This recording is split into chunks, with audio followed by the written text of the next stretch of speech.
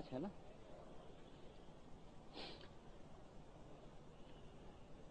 खातिन हजरात, जैसा कि आप जानते हैं, आप, आज की ये नशिस्त आप ही लोगों के लिए रखी गई है। हमारे वो गैर मुस्लिम भाई और हमारी वो गैर मुस्लिम माएँ और बहनें, जो इस्लाम के बारे में कोई सवालात रखती हूँ और एतराज़ात रखती हूँ वह आज कर सकती हैं। सबसे पहले, इससे पहले कि मैं सवालत और जवाब का सिलसिला शुरू करूँ मैं चंद उसूल, ज़रूरी उसूल बता देना चाहता हूँ ताकि हमारा प्रोग्राम कामयाब हो सके। सबसे पहले सवाल करने वाला अपना नाम और पेशा बताए। कोई लंबी तकरीर न करे, डायरेक्ट सवाल शुरू कर दे। और इसी के साथ साथ सवाल इख्तलाफी न हो। सवाल कोई इख्तलाफी न हो, और अगर कोई नामनासिब सवाल हुआ तो मैं उसको रद्द करने का, उसको न लेने का मुझे पूरा इख्तियार हासिल होगा। इसी के साथ साथ मैं फिर इंतहा अदब के साथ अपने मुसलमान भाइयों और बहनों से अर्ज़ करूँगा, आजिजाना और मुद्दबाना गुजारिश करूँगा कि बरए मेहरबानी, अगर क्यू में कोई गैर मुस्लिम भाई या बहन हो तो मेहरबानी करके आप सवाल न करें। आपके लिए हम हर वक्त आईआरएफ का दरवाज़ा खुला रहता है। आप कभी भी सवाल कर सकते हैं। हमारे वहाँ मदनी स्कॉलर से हैं, मदीना यूनिवर्सिटी मदीना यूनिवर्सिटी से फारगीन हजरात हैं, जो आपके सवाल के जवाब देने के लिए तैयार रहते हैं। इसके अलावा, आप लोग हम लोगों से भी बातचीत करते रहते हैं और यहाँ भी बाकायदा उसके लिए किया गया है इंतज़ाम। अगर कुछ, कोई सवाल हो किसी गैर मुसलमान भाई को, किसी मुसलमान बहन को तो वो यहाँ इधर आके सवाल कर सकती हैं। लेडीज़ विंग भी है और इसी के अलावा इसके साथ साथ आईआरएफ का नंबर भी आप लेकर आईआरएफ में सवाल कर सकते हैं।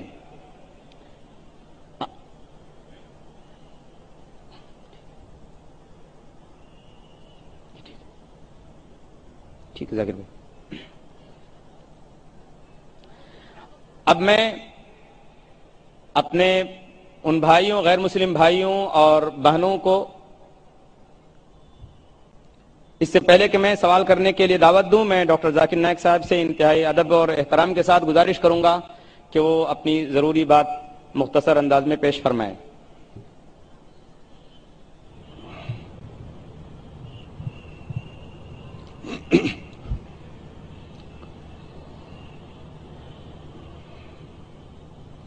अल्हम्दुलिल्लाह वस्सलातु वस्सलाम अला रसूलिल्लाह व अला आलिहि वसहबि अजमईन अम्मा बाद अऊज़ु बिल्लाहि मिनश शैतानिर रजीम बिस्मिल्लाहिर रहमानिर रहीम कुल या अहलल किताब तालू इला कलिमतिन सवाइन बैन बैनकुम अल्ला नअबुद इल्लल्लाह वला नुश्रिका बिही शैयन वला यत्तखिज़ बादुना बादन अरबाबन मिनल्लाह फइन तवल्लव फकुलु शहदू बिअन्ना मुस्लिमून रब्बि इश्रह ली सदरी वयसली अमरी वहलुल उगदत मिन लिसानी यफकहु कौली मोहतरम शेख सऊद शरीम मेरे मोहतरम बुज़ुर्गों और मेरे अज़ीज़ भाई और बहनों और पीस टीवी पे देखने वाले करोड़ों नाजरीन अस्सलाम वालेकुम वरहमतुल्लाहि वबरकातुहू जैसे आप जानते हैं कि अक्सर मैं तकरीर और सवाल जवाब अंग्रेज़ी में करता हूँ। चंद मौके पे कोशिश करता हूँ कभी कभी तकरीर या सवाल जवाब उर्दू या हिंदी में करूँ। क्योंकि मेरी तालीम अंग्रेज़ी में हुई है तो ज़ाहिर है कि इस आज के सवाल जवाब के सेशन में मैं काफ़ी गलतियाँ करूँगा। इसीलिए सवाल जवाब के सेशन के पहले ही मैं आप सबसे माजरत चाहता हूँ और उम्मीद रखता हूँ कि आप मेरे इन गलतियों को नजरअंदाज करेंगे और मेरे जवाब के पैगाम पे तवज्जो देंगे। चार साल पहले हमसे दरखास्त की गई थी कि कम अज कम एक दिन सिर्फ़ एक पूरा सेशन तीन साढ़े तीन घंटे का कम अज कम सिर्फ़ सवाल जवाब का होना चाहिए। अक्सर हमारी तकरीर एक डेढ़ घंटे की होती सवाल जवाब दो घंटे का होता है। फिर भी लोग जब क्यू में खड़े होते कोशिश करने के बावजूद हम उनकी पूरी प्यास न बुझा सकते। तो लगातार तीन साल से आज ये पांचवी कॉन्फ्रेंस में चौथे बार है, चौथी बार है कि हम नौवे दिन के आखिरी सेशन को हमने खसूसन एक खुला सवाल जवाब की नशिस्त तय की। तो इंशाल्लाह आज हम कोशिश करेंगे कि ज़्यादा से ज़्यादा सवाल हमारे गैर मुस्लिम भाइयों और बहनों से ले। और वक्त अगर बाकी है तो इंशाल्लाह मुसलमान भाइयों और बहनों से भी लेंगे। लेकिन पहला मौका दीजिए गैर मुस्लिम भाइयों और बहनों से। उनकी जो भी गलत फहमी है इस्लाम के मुतालिक हम इंशाला कोशिश करेंगे उसे दूर करें।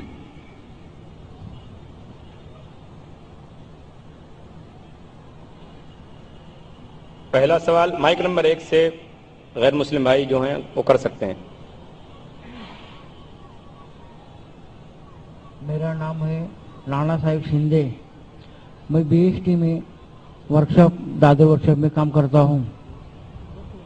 मैं मेरी तरफ़ से सभी भाई बहनों का नमस्कार चाहता हूँ। भाई साहब जरा वापिस से सवाल पूछ सकेंगे? धीरे से और ज़ोर से।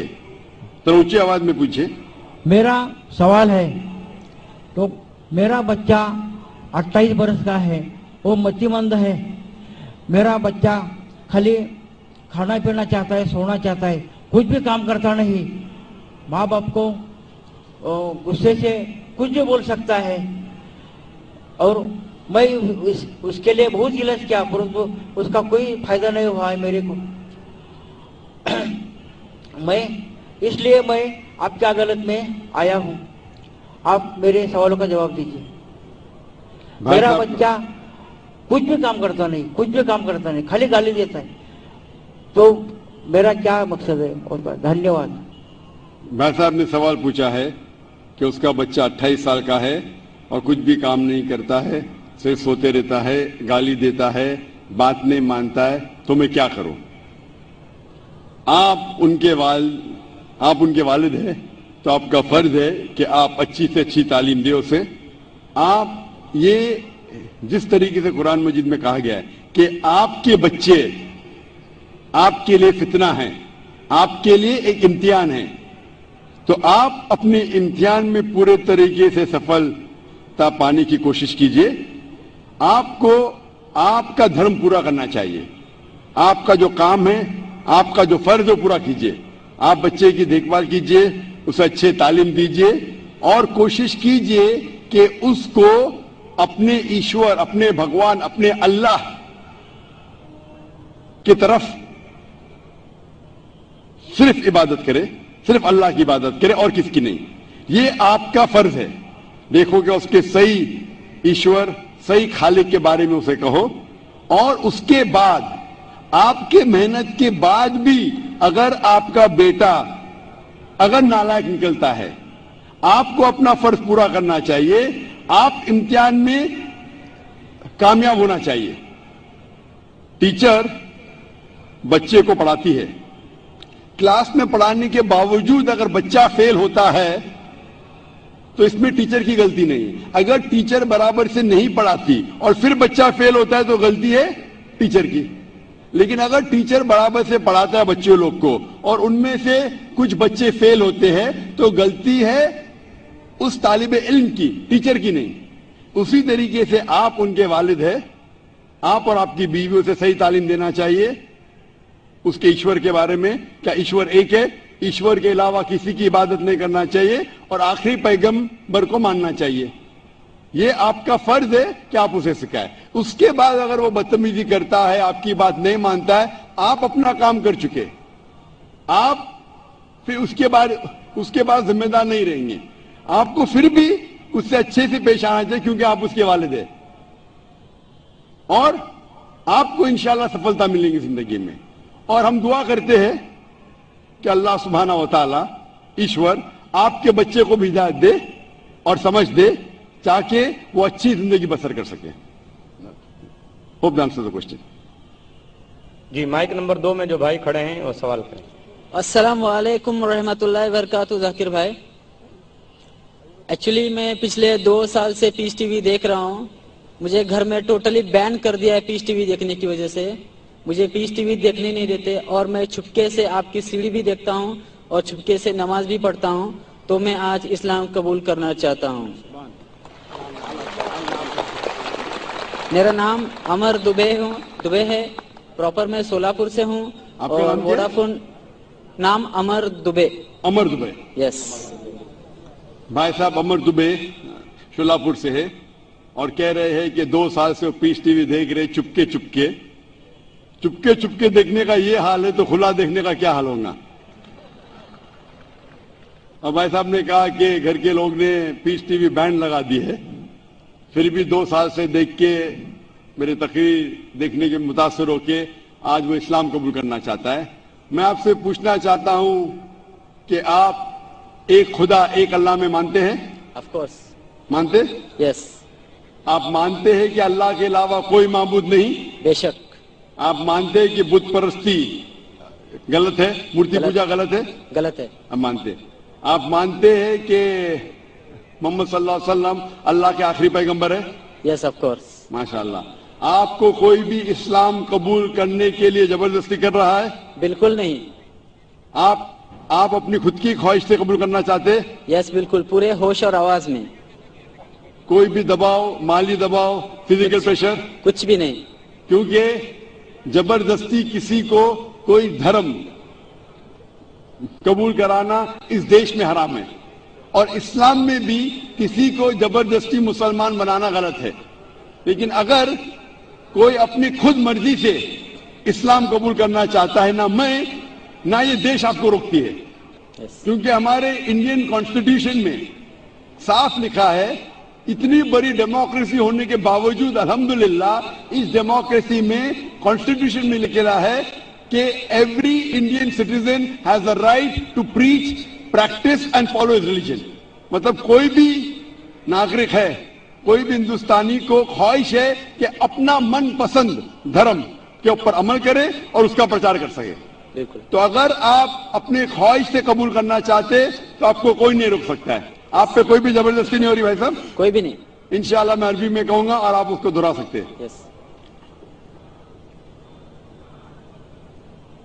अशदु अशहदु अल्लाह अल्लाह इलाहा इलाहा इल्लल्लाह इल्लल्लाह व अशदु व अशहदु अन्ना अन्न मोहम्मदन मोहम्मदन अब्दुहु अब्दुहु व रसूलुहु। व रसूलुहु।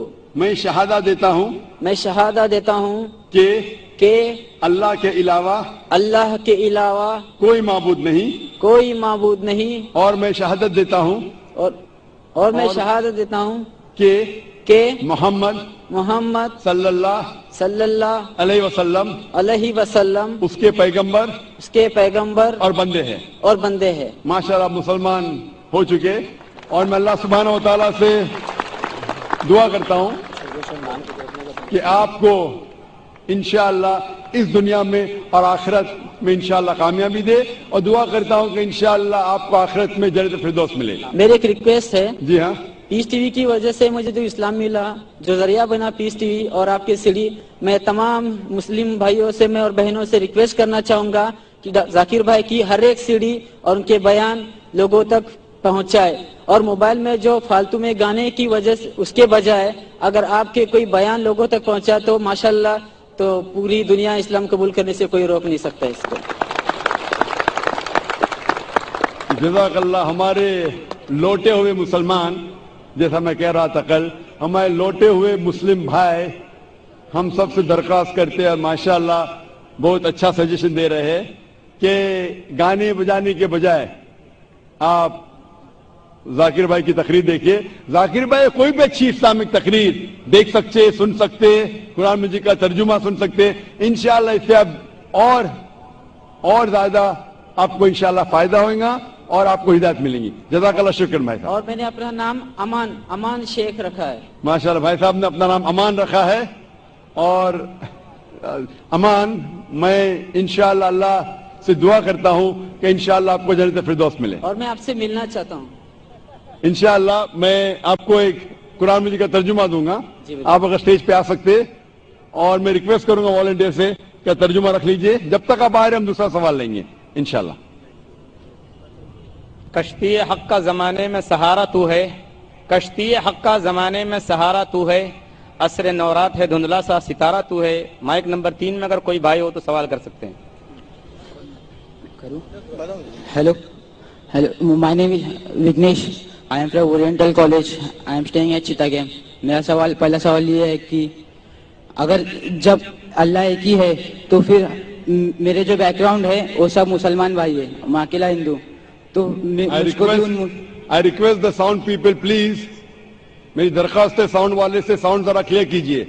Please see to it that the microphone is clear I request the sound sound technicians to see to it that the microphone is clear including my monitor speaker भाई साहब आप जरा सवाल दोहरा सकते और आस्ते और जरा ज़ोर से। अगर अल्लाह एक ही है ना तो मुझको भी चाहे तो मुसलमान बना सकते थे पर क्यों नहीं? अल्लाह अगर एक है तो? मुझको भी चाहे मुसलमान बना सकते थे मैं वो भी हिंदू बना। भाई साहब का सवाल है अगर अल्लाह एक है तो मुझको भी मुसलमान बना सकते थे उसने क्यों नहीं तुम्हें मुसलमान बनाया? भाई साहब का अच्छा सवाल है। और इसका जवाब है कि हमारे आखिरी पैगंबर मोहम्मद सल्लल्लाहु अलैहि वसल्लम फरमाते कि हर इंसान, हर बच्चा जब पैदा होता है, वो दीन फित्र में पैदा होता है। दीन फित्र मतलब वो मुसलमान जैसा पैदा होता है। मुस्लिम का मतलब वो इंसान जो अपनी ज़िंदगी अल्लाह, भगवान, ईश्वर, अपने खालिक के मुताबिक बसर करता है। जो इंसान अपनी ज़िंदगी, अपने खालिक, अपने अल्लाह के कहे हुए अहकामात के मुताबिक बसर करता है, उसे कहते हैं अरबी में मुस्लिम। तो हर इंसान जब पैदा होता है, चाहे हिंदू खानदान में पैदा हो, या ईसाई खानदान में, या यहूदी खानदान में, या मुस्लिम खानदान में, कोई भी खानदान में पैदा होता है, वो पैदा होता है मुसलमान जैसा। उसके बाद, उसके वालदेन, उसके बड़े, उसके टीचर्स, उसे सिखाते हैं। अगर सही चीज़ सिखाते तो वो सही रास्ते पर रहता है। वरना वो दूसरे रास्ते पे भटक जाता है। हो सकता है कि वो बुत परस्ती करने लगे, वो मूर्ति पूजा करने लगता है। हो सकता है वो आग की पूजा करने लगे। इसीलिए अगर कोई गैर मुस्लिम मुस्लिम बनता है, उर्दू में अक्सर कहते हैं नो मुस्लिम, जो गलत है। अंग्रेज़ी में कहते convert convert means going from one track to the other which is wrong सही लफ्ज है लौटा हुआ मुस्लिम, क्योंकि हर इंसान पैदा होता है मुस्लिम जैसा, फिर उसके वालदेन उसके बड़े के ज़रिए से वो गलत ट्रैक पे जाता है, और जब सही ट्रैक पे आ जाता है वापस, सही लफ्ज है, लौटा हुआ मुस्लिम, अंग्रेज़ी में कहेंगे रिवर्ट अक्सर हम कहते नौ मुस्लिम, जो इस्लामी तालीमत के मुताबिक गलत है। सही लफ्ज होना चाहिए, लौटा हुआ मुस्लिम रिवर्ट और आपका सवाल था कि अल्लाह ने तुम्हें मुस्लिम क्यों नहीं बनाया? अल्लाह ने तुम्हें मुस्लिम ही बनाया। हो सकता है कि बचपन में आपके बड़े, आपके वालदेन, आपके टीचर आपको सही रास्ता नहीं दिखा सके और आप गलत रास्ते पे गए। लेकिन इसके बावजूद आप अल्लाह को दोषी नहीं ठहरा सकते। आप ये पूछ सकते कि अल्लाह ने क्यों मुझे हिंदू खानदान में पैदा किया? अगर मुस्लिम खानदान में पैदा किया होता, हो सकता है कि मैं मुसलमान होता। अल्लाह ताला फरमाते हैं कुरान मजीद में सूर्य फुरकान में सूरा नंबर 25 कि अल्लाह अगर चाहे तो सारे इंसानों को मुसलमान बना सकता है। लेकिन फिर टेस्ट क्या है? अगर टीचर चाहे तो सारे स्टूडेंट को पास कर सकता है। लेकिन टेस्ट क्या? टेस्ट ये वो, टेस्ट वो होता है, क्या टीचर सही तालीम देने के बाद इम्तिहान लेता है। जो आदमी सही जवाब देता है, वो पास होता है, जो गलत देता है, फेल होता है। तो अल्लाह ताला ने सारे इंसानों को अपना आखिरी पैगाम दे चुका है कुरान मजीद। उसके बाद अगर इंसान उस पर अमल करते तो पास होते, अमल नहीं करते तो फेल होते। और अगर आप अल्लाह से कंप्लेन करेंगे कि क्यों मुझे हिंदू खानदान में पैदा किया? तो अल्लाह ताला फरमाते कि आप किधर भी पैदा हो चाहे मुसलमान खानदान में या हिंदू खानदान में। ये कहना कि हर इंसान जो मुस्लिम खानदान में पैदा होता है, जन्नत में जाएगा, बिल्कुल गलत है। सिर्फ़ मुसलमान खानदान में पैदा होने के बाद और मुस्लिम नाम रखने से इंसान जन्नत में नहीं जाता है। जन्नत में जाने के लिए एक अल्लाह में मानने के अलावा, अल्लाह के रसूल में मानने के अलावा उनके अहकाम पे अमल करना चाहिए। हर मुस्लिम अमल तो नहीं करता है। तो हर इंसान जो मुस्लिम खानदान में जाएगा जो मुस्लिम खानदान में पैदा होता है, वो जन्नत में नहीं जाएगा। लेकिन अल्लाह ताला ये फरमाते हैं कि हर इंसान को सूर्य फुसिलत में सूरा नंबर इकतालीस, आयत नंबर तिरपन 53 अल्लाह ताला फरमाते, सनूरीम आयाती ना फिल आफाकी। वफी अनफुसिम, हत्ता यतबैन कि बहुत जल्दी हम आपको अपनी निशानियाँ दिखाएँगे। अल्लाह ताला फरमा रहे इंसानों से कि जल्द हम आपको हमारी निशानियाँ दिखाएँगे होराइजन में, ताकि आप पे वाजे हो जाए। क्या हक है? क्या अल्लाह एक है? अल्लाह के अलावा कोई माबूद नहीं है। लेकिन हक ज़ाहिर होने के बाद हर इंसान उस पर अमल करना ज़रूरी नहीं। वो सोचने लगे वो इंसान सोच सकता है कि अगर मैं इस्लाम कबूल करूँ तो हो सकता है कि मेरे दोस्त मुझे छोड़ देंगे। हो सकता है कि मेरे वालदेन मुझे जायदाद से दखल कर देंगे। हो सकता है कि मुझे, मेरे तिजारत में नुकसान हो। तो ये सब चीज़ें इंसान को बहुत बार भटकाती है और हक कबूल करने से रोकती है। लेकिन आखिरत के दिन के ऊपर आप ये अल्लाह से कंप्लेन नहीं कर सकेंगे कि मुझे किसी ने भी इस्लाम के बारे में नहीं कहा। इसीलिए कुरान मजीद में लिखा गया है सूर्य अनाम में सूर्य नंबर छह, आयत नंबर 158 कि उस दिन, आखिरत के दिन, अगर आप कहेंगे कि मेरे वालदेन बुद्ध परस्त थे, मूर्ति पूजा करते थे, इसीलिए मैं कर रहा हूँ तो अल्लाह ताला फरमाएगा, ये बहाना नहीं चलेगा। क्योंकि अल्लाह ताला खुद हर इंसान के दिल में वादे कर देता है, हक क्या है? और वादे करने के बाद आपके पास कोई शिकायत का मौका नहीं रहेगा। और आपको भी, आप आज इस मजलिस में आ चुके हैं। और मैंने लाखों लोग के सामने आपको वादे किया है कि खुदा एक है। उसके अलावा कोई माबूद नहीं। और मोहम्मद सल्लल्लाहु अलैहि वसल्लम उसके आखिरी पैगंबर है। अगर आज आप इस बात को नहीं मानेंगे तो कल आप ये कंप्लेन नहीं कर सकेंगे। आप शिकायत नहीं कर सकेंगे अल्लाह से कि मुझे पता नहीं था। बाकी लोग कर सकेंगे का नहीं, वो बाद में देखा जाएगा। आप तो अल्लाह तो वादे कर दिया किसके ज़रिए पता नहीं, लेकिन आज मेरे ज़रिए तो कर रहा है आपको। और इतने लाखों लोग शहादा दे रहे, और करोड़ों लोग टेलीविज़न पे देख रहे आपको।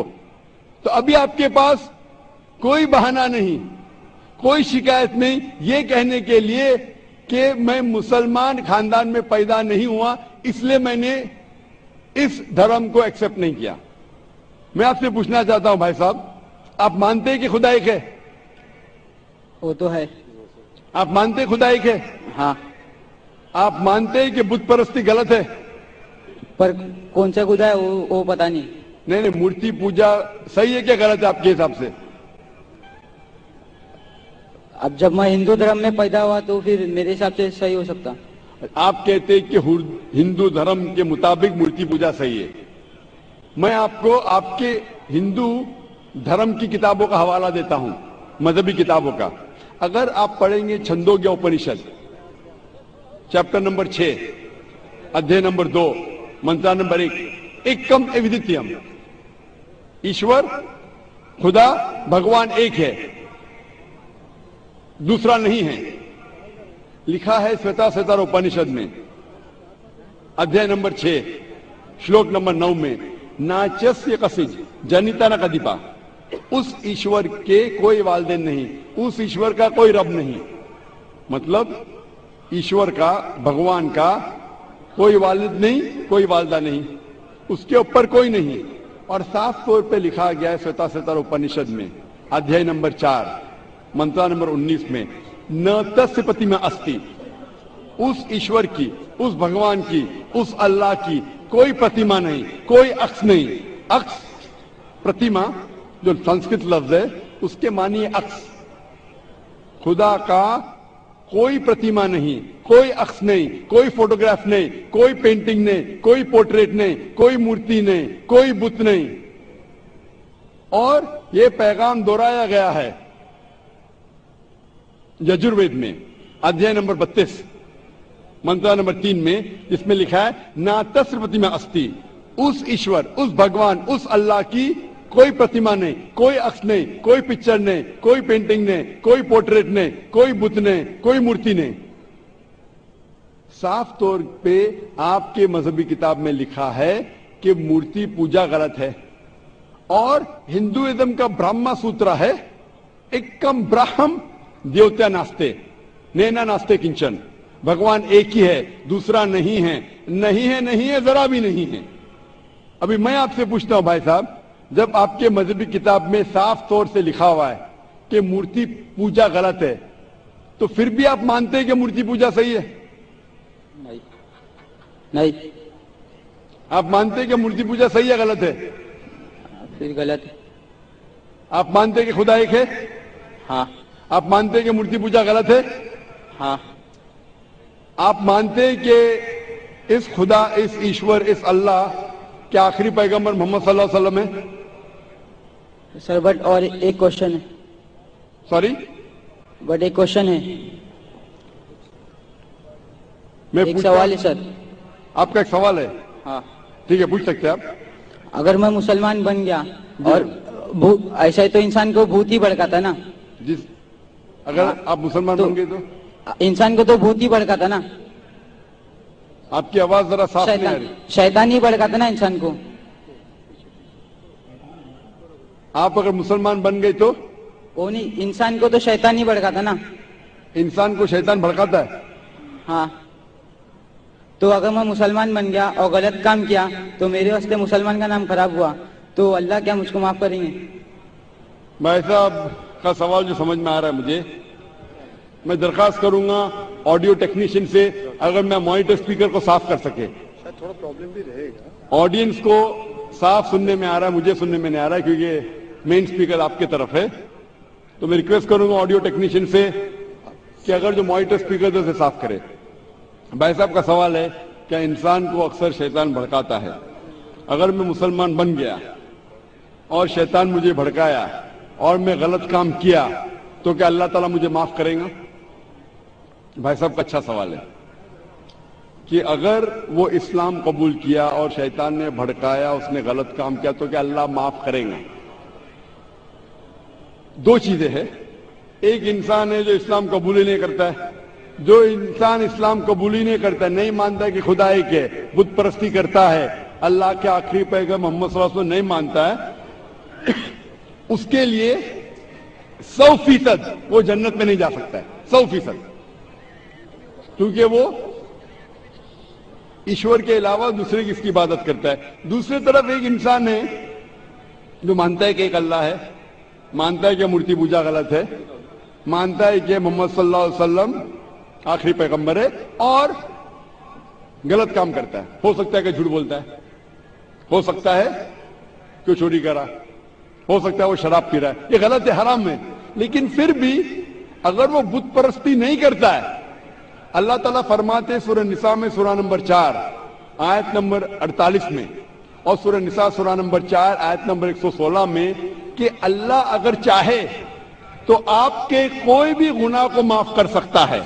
लेकिन शिरक को कभी नहीं माफ़ करेंगे।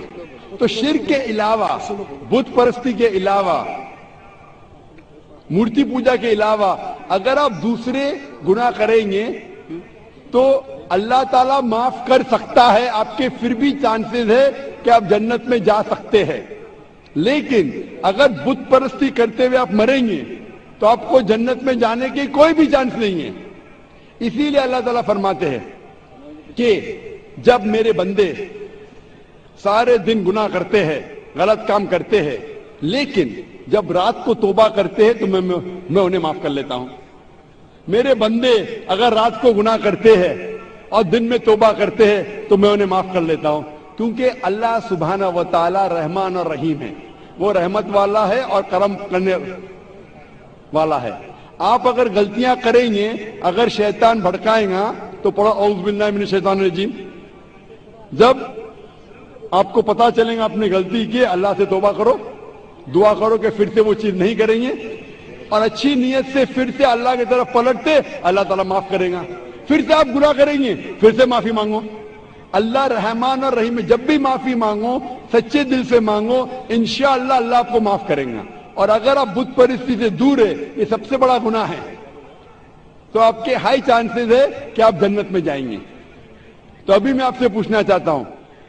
हाँ सर, एक सेकेंड सर क्या कुरान में लिखा है ना शराब हराम है? जी हाँ। तो जब सिगरेट सिगरेट भी हराम होगा? सिगरेट भी पीना हराम है। कुरान में नहीं लिखा है लेकिन हराम है। हाँ, अच्छा यही पूछना चाहिए था क्योंकि हमारे यहाँ जो है एक्सट्रक्टर मस्जिद में जमाते आते वो भी सिगरेट पी देते शराब पीना तो साफ़ तौर पे कहा गया है कुरान मजिद में सूर्य मायदा सूरा पाँच आयत नंबर नब्बे में कि हराम है।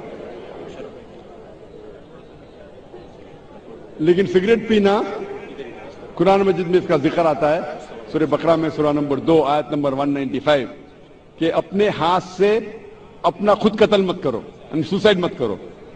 आज की साइंस कहती है कि टबैको के वजह से, सिगरेट पीने के वजह से हर साल वर्ल्ड हेल्थ ऑर्गेनाइजेशन कहती है, हर साल 40 लाख लोग मरते हैं सिर्फ़ सिगरेट पीने की वजह से। दुनिया में दूसरे नंबर पे आता है शराब के बाद जो सबसे ज़्यादा मौत होती है कोई चीज़ पीने या खाने की वजह से, वो है सिगरेट। तो क्योंकि पहले लोग को पता नहीं थे सिगरेट इज़ स्लो पॉइजनिंग तो कई उल्मा कहते थे, मकरू है, आज 400 से ज़्यादा फतवे है। सऊदी में इजिप्ट में जो कहा गया है कि सिगरेट पीना हराम है। अभी जो लोग को लत लग गई हम उनसे दुआ, हम अल्लाह से दुआ करते कि अल्लाह उन्हें हिदायत दे। लेकिन अगर कोई मुसलमान गलत कर रहा है, उसका मतलब नहीं कि आपको भी करना चाहिए। हम दुआ करेंगे कि इन मुसलमान को अल्लाह ताला ताकत दे क्या ये बुरी लत से उन्हें नजात मिले? मैं आपसे पूछना चाहता हूँ क्या आप मानते हैं खुदा एक है? हाँ। आप मानते हैं बुत परस्ती गलत है? हाँ। आप मानते हैं कि मोहम्मद सल्लल्लाहु अलैहि वसल्लम आखिरी पैगंबर है? सर मैं भी तो थोड़ा इस्लाम रिसर्च कर रहा हूँ उसके बाद मैं खुद ब खुद कबूल कर लूँगा इंशाल्लाह भाई साहब चाहते हैं कि वो इस्लाम के बारे में और रिसर्च करे और मैं चाहूँगा कि आप मेरे हाथ से एक तर्जुमा ले कुरान का, और मेरी दरखास्त है कि आप कुरान मजिद का तर्जुमा पढ़िए, और इंशाल्लाह इससे आप हिदायत पाएँगे, और जब मुतमिन हो जाएँगे कि ये मज़हब सही है फिर कबूल करना कोई ज़बरदस्ती नहीं। आप जब मुतमिन हो जाएँगे कि ये इस्लाम, ये कुरान में सही बातें लिखी है, ये सबसे बेहतरीन मज़हब है फिर आप कबूल कीजिए। मैं दरखास्त करूँगा कि आप स्टेज पे आके इंशाल्लाह कुरान मजिद का नुस्खा मुझसे ले सकते हैं। माइक नंबर चार में कोई खातून हूँ नॉन मुस्लिम तो सवाल करें। असलाकुम to all of you my name is Maya Sasan I am staying at Vashi Navi Mumbai and my question is why respected prophets and spiritual script were sent to mid Asia and nearby Europe and why not to India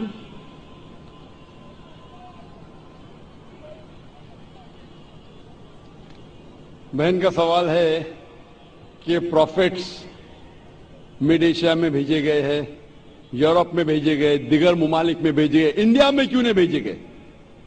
India में क्यों नहीं?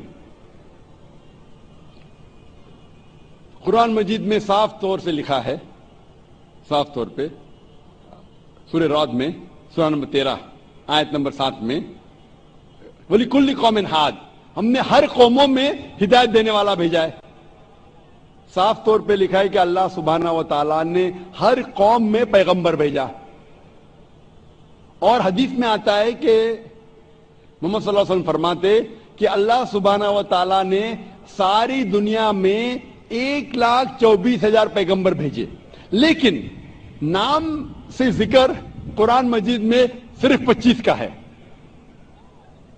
नाम से ज़िक्र कुरान मजिद में सिर्फ़ 25 का है, लेकिन कुरान मजिद में अल्लाह ताला फरमाते हैं गाफिर में सूरा नंबर 40 आयत नंबर चौसठ में, कि कुछ पैगंबर के बारे में हम ज़िक्र करते हैं, कुछ पैगंबर के बारे में नहीं। तो सारे पैगंबर का ज़िक्र करना कुरान मजिद में ज़रूरी नहीं तो ये कुरान मजिद इतनी बड़ी किताब हो जाती है, बिल्डिंग बिल्डिंग से भी बड़ी।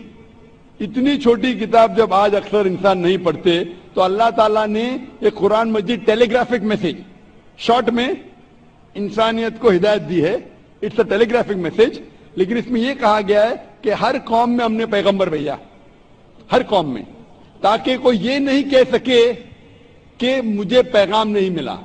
इंडिया में भी अल्लाह ने पैगंबर भेजे हैं।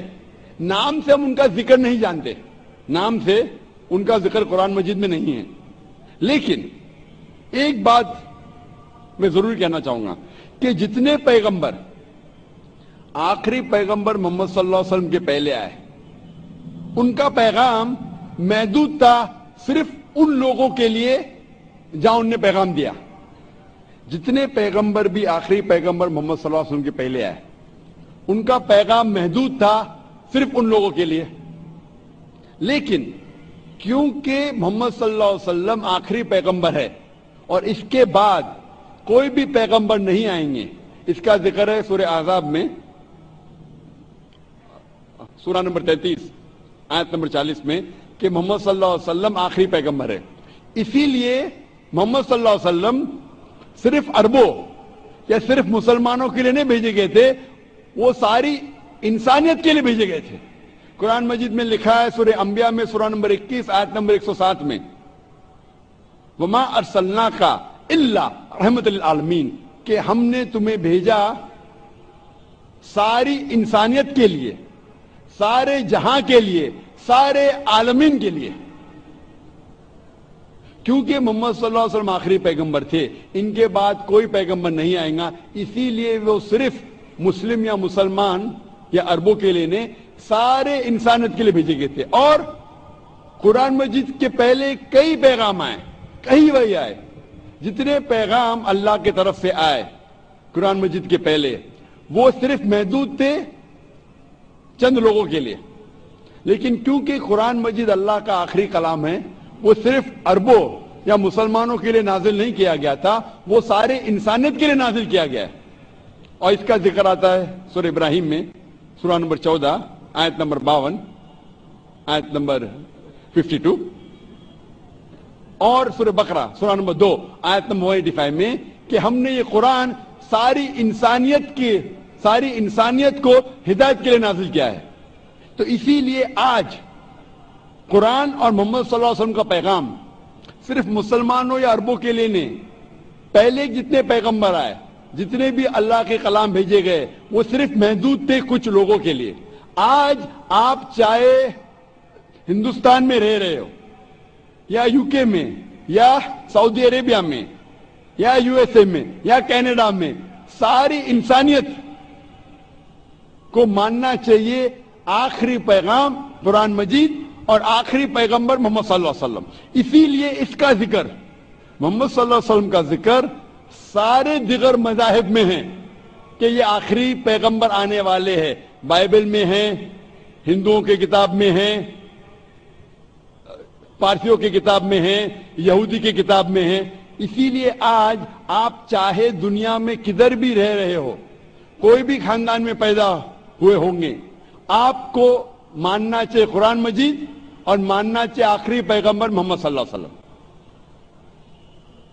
आप- वन मोर क्वेश्चन जी हाँ बहन मतलब इस्ला इस्लामिज्म में रिबॉर्न होना, यानी दूसरा जन्म तो है नहीं राइट तो फिर हाँ कयामत के वक्त अल्लाह सबको फिर से मतलब ये करेंगे तो वो मुझे कंसेप्ट समझ में नहीं आया। बहन ने पूछा कि इस्लाम में रीबॉर्न रीबर्थ तो नहीं होता, फिर से आप दुनिया में पैदे नहीं होते, लेकिन आखिरत में फिर से उठाया जाए, उसका कॉन्सेप्ट नहीं समझे। आप अगर पढ़ेंगे ये जो कॉन्सेप्ट है हिंदू धर्म में, हिंदू धर्म में जो रीबत का, ये कॉन्सेप्ट कुछ किताबों में है लेकिन ऊँची किताब अगर आप पढ़ेंगे, Veda the cycle of birth and rebirth is called samskara Sanskrit में इसे कहते संस्कारा ये हिंदू विद्वानों ने, पंडितों ने इसका ज़िक्र किया, लेकिन इसका ज़िक्र वेद में कहीं नहीं आता है। वेद में कहा गया है पुनर्जन्म। पुनर्जन्म सुना आपने? जी। बहन सुना है? जी। हाँ। पुनर् की मतलब? फिर से वापस। पुनर् का मतलब नेक्स्ट वापस। ठीक है मान गया। पुनर मतलब नेक्स्ट अगला वापस। जन्म मतलब लाइफ जन्म मतलब ज़िंदगी। फिर से ज़िंदगी। वापस ज़िंदगी। इससे इस्लाम को कोई हर्ज नहीं। इस्लाम भी इसमें मानता है। इस्लाम में भी अल्लाह ताला फरमाते सूर्य बकरा में कि अल्लाह ताला ने आपको ज़िंदगी दी, फिर मौत दी, फिर से ज़िंदगी दी। अने इस्लाम में भी हम मानते हैं कि हमारा पुनर्जन्म होगा, लेकिन एक बार वो आखिरत में। तो पुनर्जन्म में इस्लाम में भी लिखा है, लेकिन संस्कारा ने जो हिंदू विद्वान कहते ज़िंदगी फिर मौत, फिर ज़िंदगी, फिर मौत, फिर ज़िंदगी और मौत। और अब सात बार लेंगे जन्म। इंसान जैसा, इसका ज़िक्र वेद में कहीं भी नहीं है। मैं चैलेंज करता हूँ। ये पंडितों का विचार थी, सोच थी, ये साबित करने के लिए कि कुछ बच्चे पैदा होते बीमार, कुछ पैदा होते अच्छी सेहत के साथ, कुछ बच्चे पैदा होते अपाहिज। कुछ अच्छी सेहत के साथ, कुछ अमीर, कुछ गरीब। तो खुदा भगवान अनजस्ट नहीं हो सकता। भगवान हमेशा जस्ट है। तो वो, उनको ये नहीं समझ में आता था, बच्चा कैसा अपाइज पैदा हुआ, बच्चा गरीब कैसा पैदा हो तो उनने अपनी सोच से सोचने लगे कि भगवान तो गलती नहीं कर सकता। इसीलिए ये बच्चे ने पहले जन्म में गलती किया है ना, इसलिए अभी अपाइज पैदा हुआ। पहले जन्म में कुछ गलती किया ना इसलिए गरीब पैदा हुआ। पहले जन्म में अच्छा किया तो अमीर पैदा हुआ। ये उनकी सोच है। ये आपके वेद में नहीं लिखा है। इस्लाम में कुरान मजिद में अल्लाह ताला फरमाते कि बच्चे आपके लिए इम्तिहान हैं। तो बच्चे जब अपाइज पैदा होते हैं तो ये नहीं कि वो जन्नत में नहीं जा सकते। हर बच्चा मासूम है। बच्चे वालदेन के लिए फितना है, इम्तिहान है। तो बच्चे अगर हो सकता है कि कंजेनाइटल हार्ट डिफेक्ट होकर बच्चा पैदा होता है। उसको दिल की बीमारी है। दिल की बीमारी होना मतलब ये नहीं कि बच्चा जन्म में जाएगा। लेकिन वालदेन के लिए एक फितना है, टेस्ट है कि बच्चे अगर बीमार पैदा होते हैं, फिर भी वालदेन अल्लाह पे भरोसा करते हैं क्या नहीं? हो सकता है कि वालदे नमाजी है, अल्लाह के अकाम पे अमल करते, अल्लाह ताला उनको अच्छा मैार देना चाहता है। मिसाल के तौर पे आप जब पास करते हैं ग्रेजुएशन तो आप बीए पास कर दिए बीए बन गए। लेकिन जब आप एमबीबीएस एग्ज़ाम देते, आपके नाम के आगे लग जाता है? Doctor but MBBS exam pass करना बीए एग्ज़ाम से बहुत कठिन है, और डिफ़िकल्ट है, और मुश्किल है। लेकिन जब मुश्किल टेस्ट पास करते, आपका रिवॉर्ड भी बड़ा है। तो अगर बच्चे अपाइज पैदा होने के बाद फिर भी वालदेन अल्लाह पे भरोसा करते तो अल्लाह ताला हो सकता है उनको जन्नत फिरदौस देना चाहता है। जन्नत में भी लेवल है। तो ये टेस्ट कर रहा है अल्लाह। किसी को गरीब पैदा पड़ता है, किसी को अरीब अमीर पैदा करता है। अमीर या गरीब से आप जन्नत में नहीं जा सकते। बनस्बत अमीर आदमी को जन्नत में जाना और मुश्किल है, क्योंकि उसका इम्तिहान और कठिन है डिफ़िकल्ट है, क्योंकि अमीर को चैरिटी देने का होता है, गरीब को चैरिटी नहीं देने का, जक़ात के अंदर गरीब को full marks hundred out of hundred अमीर हो सकता है बोलेगा, मैं नहीं दूँगा तो ज़ीरो मिला। हो सकता है वो आधा दे रहा है, आधे मार्क्स मिलेंगे। गरीब को हंड्रेड आउट ऑफ़ हंड्रेड हम कहते हैं, गरीब है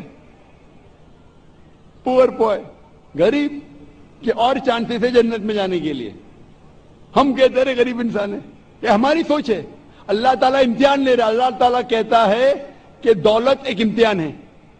तो ये हिंदू विद्वान इसे समझ नहीं सके तो संस्कारक है मौत, ज़िंदगी मौत ज़िंदगी मौत, ज़िंदगी। लेकिन ये वेद में वेद में लिखेला पुनर्जन्म। एक बार आप इस दुनिया में आएँगे, इसके बाद आपकी मौत आएँगी, फिर से उठाया जाएगा आखिरत के दिन पे। और उस दिन आपका हिसाब किताब होगा। फिर अल्लाह ताला आपका हिसाब किताब लेंगे कि जो अल्लाह ने इंसानों से फरमाया था कि एक खुदा में मानो, आपने खुदा में माना कि नहीं बुत पर मत करो, आपने किया कि नहीं आखिरी पैगंबर मोहम्मद ने मानो, आपने माना कि नहीं आपने सलाह पढ़ी क्या नहीं आपने चैरिटी दी क्या नहीं आपने रोजा रखा कि नहीं तो ये अल्लाह ताला हिसाब किताब करने के बाद आपको ग्रिसमार्क भी दे सकते।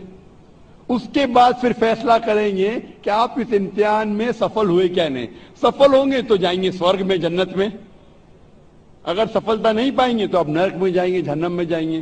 तो ये आपके ऊपर अल्लाह ताला ने छोड़ा है कि अगर हिदायत देने के बाद आपको सही चीज़ बताने के बाद आप अल्लाह के अहकाम पे अमल करते हैं क्या नहीं? तो मैं आपसे पूछना चाहता हूँ बहन कि आप मानते कि खुदा एक है? जी बिल्कुल। आप मानते हैं कि बुत परस्ती गलत है? हाँ। आप मानते हैं कि मोहम्मद सल्लल्लाहु अलैहि वसल्लम आखिरी पैगंबर है? जी। तो आप इस्लाम कबूल करना चाहेंगे? सर एक्चुअली मैं बेसिक लेवल से स्टडी कर रही हूँ मैं और बहुत कुछ जानना चाहती हूँ। बेसिक लेवल इस्लाम जो आप इट्स जस्ट इनिशियल आपको स्कूल में दाखिल होना चाहिए बस। जी। एबीसीडी आए तो खलास दाखिल दोगे? आप टेंथ पास करेंगे पीएचडी करेंगे हमने बोलेंगे पहले मैं पीएचडी सीखूँगी फिर मैं नर्सरी में जाऊँगी। नहीं नहीं। तो इस्लाम में दाखिल होने के लिए दो शराइत है कौन सी? दो शराय एक अल्लाह में मानो बुत परस्ती मत करो और आखिरी पैगंबर मोहम्मद सल्लल्लाहु अलैहि वसल्लम। अगर ये दो चीज़ पे आप मानते अमल करते आप दाखिल हो जाते। फिर आप first level second level third level fourth level दुआ करेंगे पीएचडी बने डबल पीएचडी बिल्कुल सर। लेकिन पहला दाखिला तो लेना चाहिए स्कूल के अंदर। मेरा बेटा बोलेगा मुझे डॉक्टर बनने का है। फिर मैं स्कूल में जाऊँगा। पहला स्कूल तो पास करो फिर डॉक्टर बनो। तो आप चाहेंगे कि स्कूल में दाखिल हो? जी बिल्कुल। आप चाहे चाहते इस्लाम कबूल करें? हाँ बट कुछ वक्त लगेगा मुझे उसके लिए। नहीं अमल करना अलग बात है। अमल अगर आप मुस्लिम बन गए तो उन्हें के सौ फ़ीसद आपको सौ फ़ीसद तो मैं भी नहीं करता हूँ मैं कोशिश करता हूँ।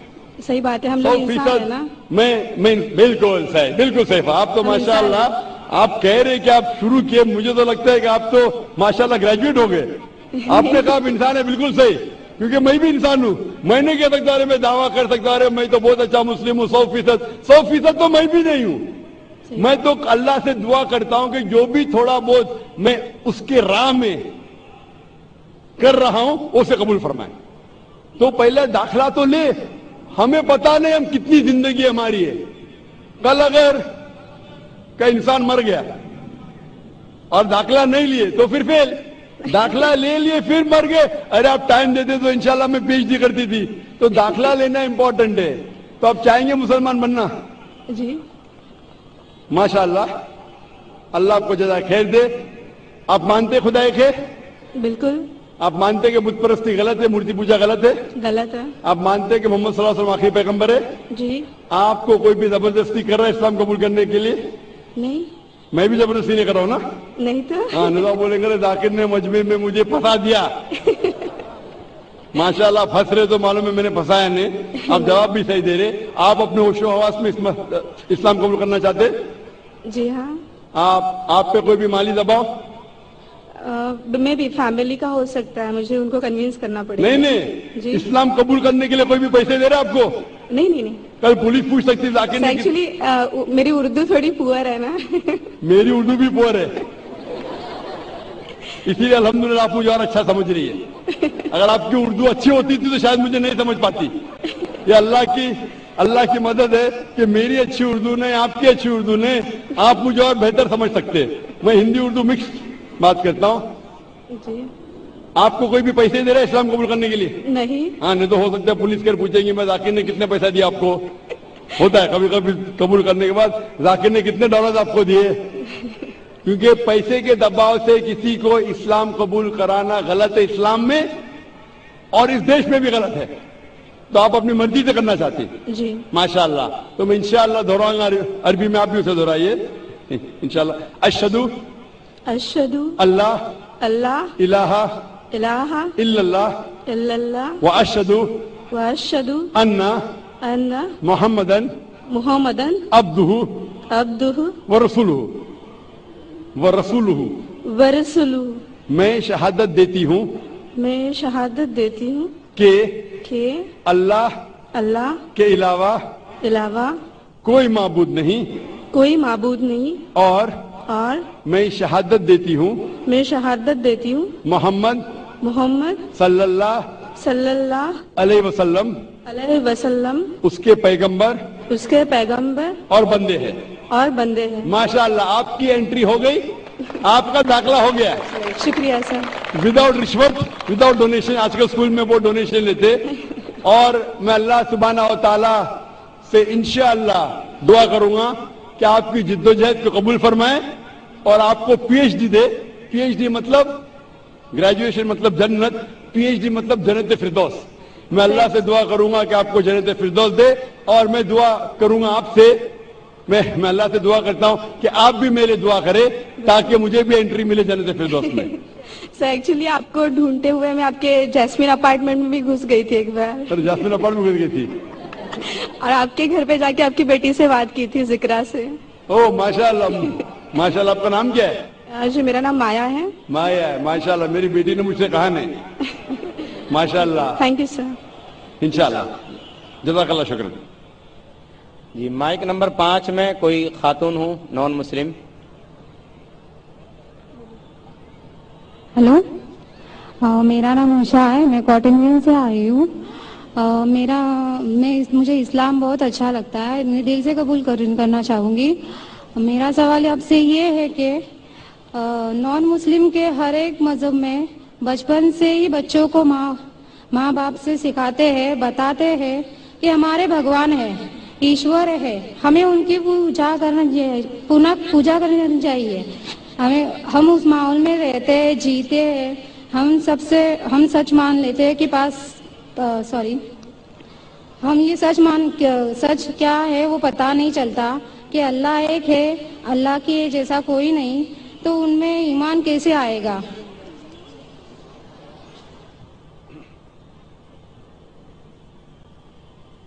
बहन का सवाल है कि अक्सर हमारे घर में हमारे वालदेन कह रहे हिंदू मज़हब में, सिखाते हैं कि भगवान है और उसकी पूजा करना चाहिए, मूर्ति पूजा करना चाहिए।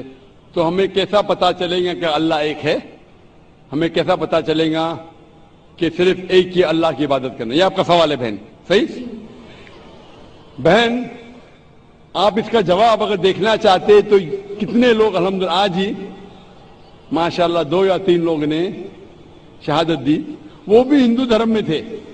उनके माँ बाप ने भी उन्हें सिखाया कि मूर्ति पूजा करना चाहिए। लेकिन वो जब सच अपने सामने देखे तो सच को कबूल किया। तो हर इंसान को अल्लाह ताला, जैसे मैंने पहले फरमाया, अल्लाह सुबहाना ताला कहते हैं सूर्य फुसिलत में सूरा नंबर इकतालीस, आयत नंबर तिरपन में, सनूरी मायाती नाफिल आफाकी वफी अनफुसहिम ये हक। के बहुत जल्दी अल्लाह सुबहाना व ताला आपको, हर इंसानों को अपनी निशानियाँ दिखाएँगे, दूर तक, ताकि वाजे हो जाए कि हक क्या है। एक बार हक वाजे हो गया, और अगर इंसान कबूल नहीं करता है तो वो दोषी है। हक वाजे होने के बाद, जैसे मैंने पहले कहा, कि बहुत से गैर मुस्लिम सोचेंगे, अगर मैं मुस्लिम बना तो मेरे वालदेन मुझे घर के बाहर निकाल देंगे। अगर मैं मुस्लिम बना तो मेरे दोस्त मुझे छोड़ देंगे। अगर मैं मुस्लिम बना तो तिजारत में नुकसान होगा। तो ये चीज़ें आपको रोकती है हक कबूल करने से। तो अल्लाह ताला आपका इम्तिहान ले रहे हैं कि हक को आप कबूल करते हैं कि नहीं। तो ये आपके लिए इम्तिहान है।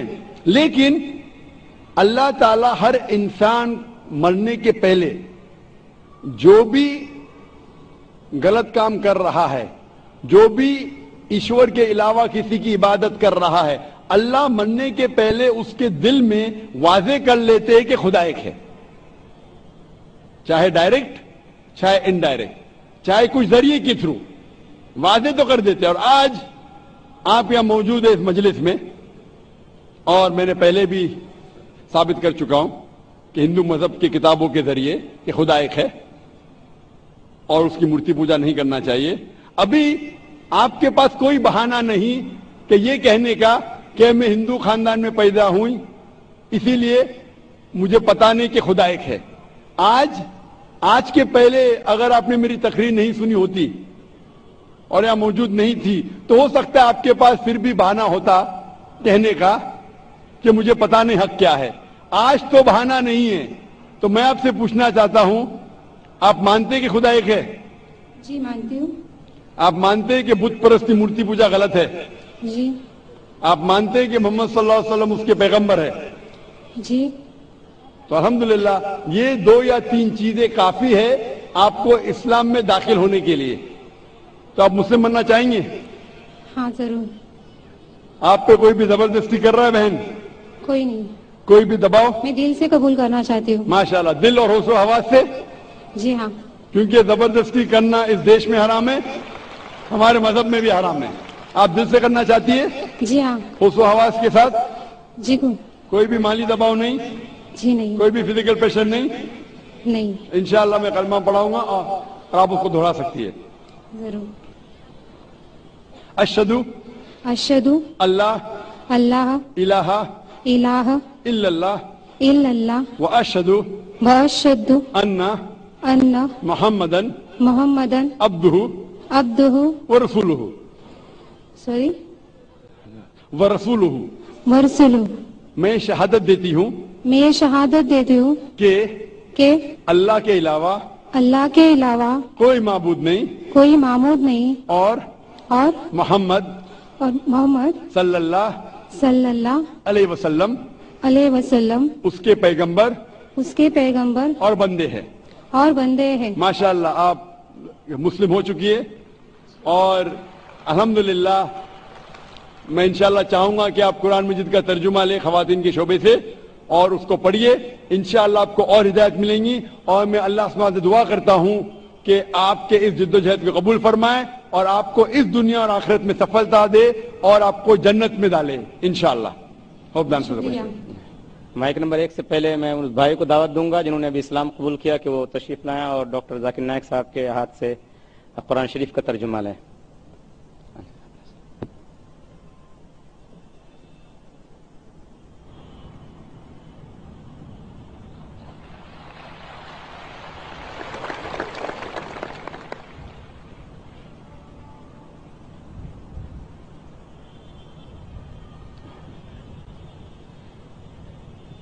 जी माइक नंबर एक में माइक नंबर एक से सवाल अस्सलाम वालेकुम। सॉरी, एक भाई और हैं जिनको कुरान शरीफ का तर्जुमा डॉक्टर जाकिर नायक साहब के हाथों से लेना है।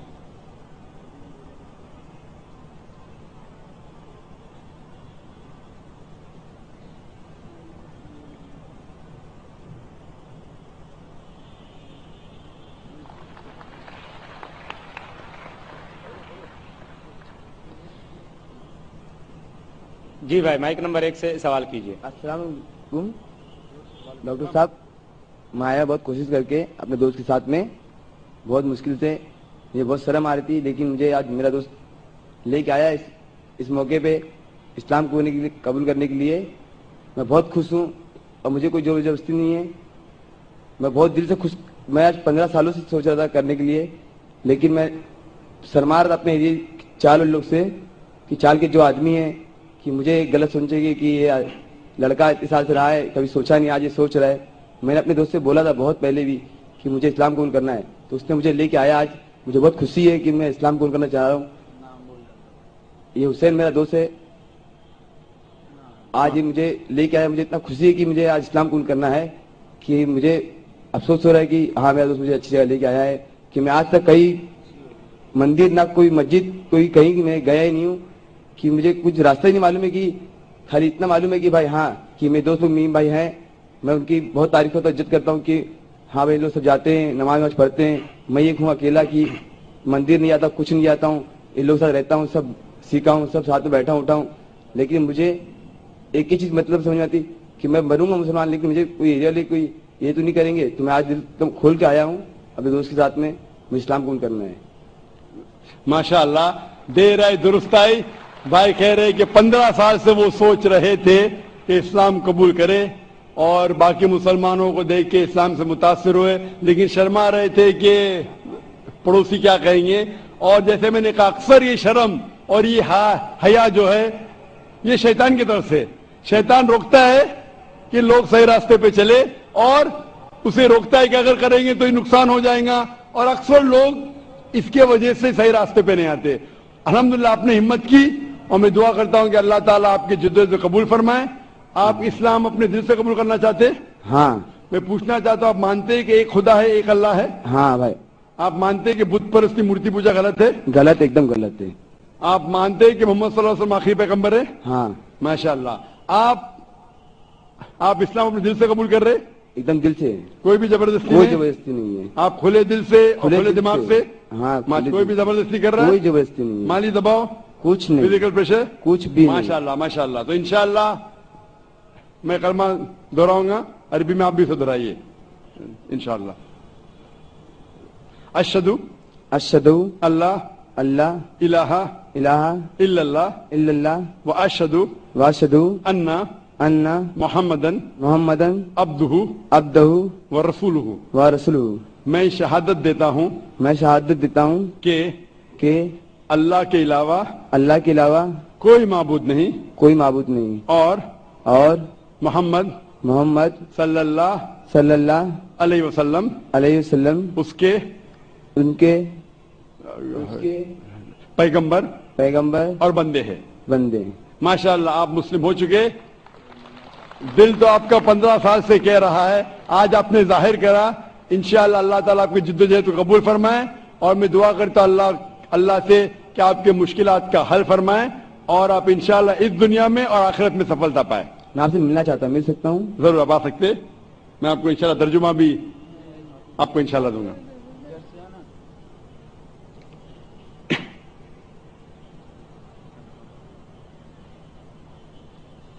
फानूस बन के जिसकी हिफाजत हवा करे वो शम्मा क्या बुझे जिसे रोशन खुदा करे?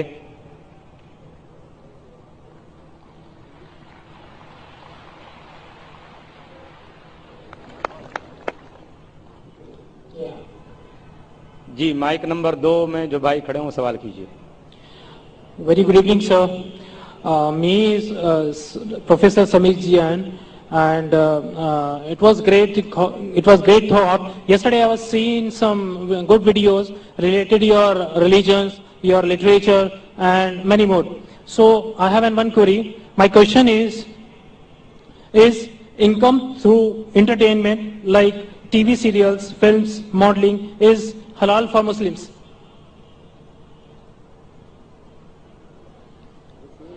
भाई साहब का सवाल है कि आमदनी एंटरटेनमेंट जैसे टीवी सीरियल मॉडलिंग एक्टिंग ये जायज़ है कि नहीं एंटरटेनमेंट से कमाई जायज़ है, जायज़ एंटरटेनमेंट से कमाई जायज़ है हराम एंटरटेनमेंट से कराम हराम इंटरटेनमेंट के ज़रिए जो कमाई है वो हराम है तो पहला ये देखना चाहिए कि इंटरटेनमेंट हराम है या हलाल है जो भी आपने कहा अक्सर जो टीवी सीरियल है फ़िल्म एक्टिंग है मॉडलिंग है ये हराम है कुछ टीवी सीरियल अगर इस्लामिक है और कुरान और हदीस के खिलाफ नहीं है उसकी कमाई Give me some example. Give me some examples. और हलाल या हराम Means for halal. हलाल या मैं ऐसा पूछना चाहता एग्ज़ाम्पल दीजिए। मिसाल के तौर पे पीस टीवी पे कोई सीरियल है? पीस टीवी पे Yeah. हमारे बच्चों के एनुअल डे के सीरियल आते हैं। वो बच्चे एक्टिंग कर रहे हैं। लोग को अल्लाह की तरफ़ लेके आ रहे हैं वो हलाल है। लेकिन आम तौर पे जो टीवी सीरियल है आम तौर पे अक्सर टीवी सीरियल हराम है। वो आपको अल्लाह से दूर लेके जाते हैं। उसमें बेहिजाबी होती जो लोग कपड़े पहने हैं, वो कपड़े पहनने के बाद बदन को ज़्यादा दिखाते हैं। कपड़े सही नहीं होते, इसके अंदर हिजाब नहीं होता एक्टिंग मॉडलिंग अगर आप ऐसे मॉडलिंग कर रहे मिसाल के तौर पे, मिसाल के तौर पे, जो खवातीन अगर मॉडलिंग करती है, अपने जस्म की नुमाइश करती है, वो सब हराम है। मैं सुना था एक वेरी फ़ेमस एड के बारे में। आपने ये गाड़ी बीएमडब्ल्यू के बारे में सुना बीएमडब्ल्यू बीएमडब्ल्यू गाड़ी बहुत फ़ेमस है खुसूसन नौजवानों में। मर्सिडीज फ़ेमस है लेकिन नौजवानों में बीएमडब्ल्यू मुझे एक जन ने कहा था कि बीएमडब्ल्यू की एक एडवर्टीजमेंट थी जिसके आदमी जिसके आगे वो बीएमडब्ल्यू गाड़ी के आगे एक खातून खड़ी है। लड़की खड़ी है बिकिनी पहन के हुए। बिकिनी पहने हुए। और वो एड में लिखा है test drive her now who the girl of the car test drive her now मतलब आओ इसे चको। किसको? गाड़ी को या लड़की को? तो बिकिनी खेल की पेन के लड़के आगे खड़ी है, ये हराम है। तो ऐसे ऐड के ज़रिए हम हमारे वालदा, हम हमारी बीवियाँ, हम हमारे बेटियाँ को बेच रहे और कहते हैं वुमेन्स राइट तो अक्सर ये फ़िल्म के अंदर, अक्सर फ़िल्म के अंदर नंगा बना होता है। अगर नंगापना ना होता है, दूसरी कुछ चीज़ बात जो हराम होती है। तो ऐसे फ़िल्म में एक्टिंग करना, ऐसी मॉडलिंग करना गलत है। लेकिन अगर आप देखते पीस टीवी पे पीस टीवी पे हमारे मुकर्रीन माशाल्लाह प्रोमो कहते मॉडलिंग नहीं कहूँगा, लेकिन वो कहते कि ये ये प्रोग्राम देखो। और वो चलते आ रहे और कोई हिदायत की बात कहते ये अलाउड है। तो अगर जो चीज़ एंटरटेनमेंट कुरान और हदीस के खिलाफ नहीं है हमारे ईश्वर हमारे खालिक के पैगाम के खिलाफ नहीं तो जायज़ है। लेकिन अक्सर ये एंटरटेनमेंट जो आप कह रहे हैं एक्टिंग मॉडलिंग अक्सर हराम है। तो ऐसी हराम चीज़ के ज़रिए कमाई भी हराम है हलाल चीज़ के ज़रिए हलाल है। Hope answer the question thank you भाई साहब आप कुछ आप कुछ मॉडलिंग करना चाहते हैं आपका सवाल की क्या वजह थी The, point is, my friend um, should ask me these questions, but like he was trying like from a long time back.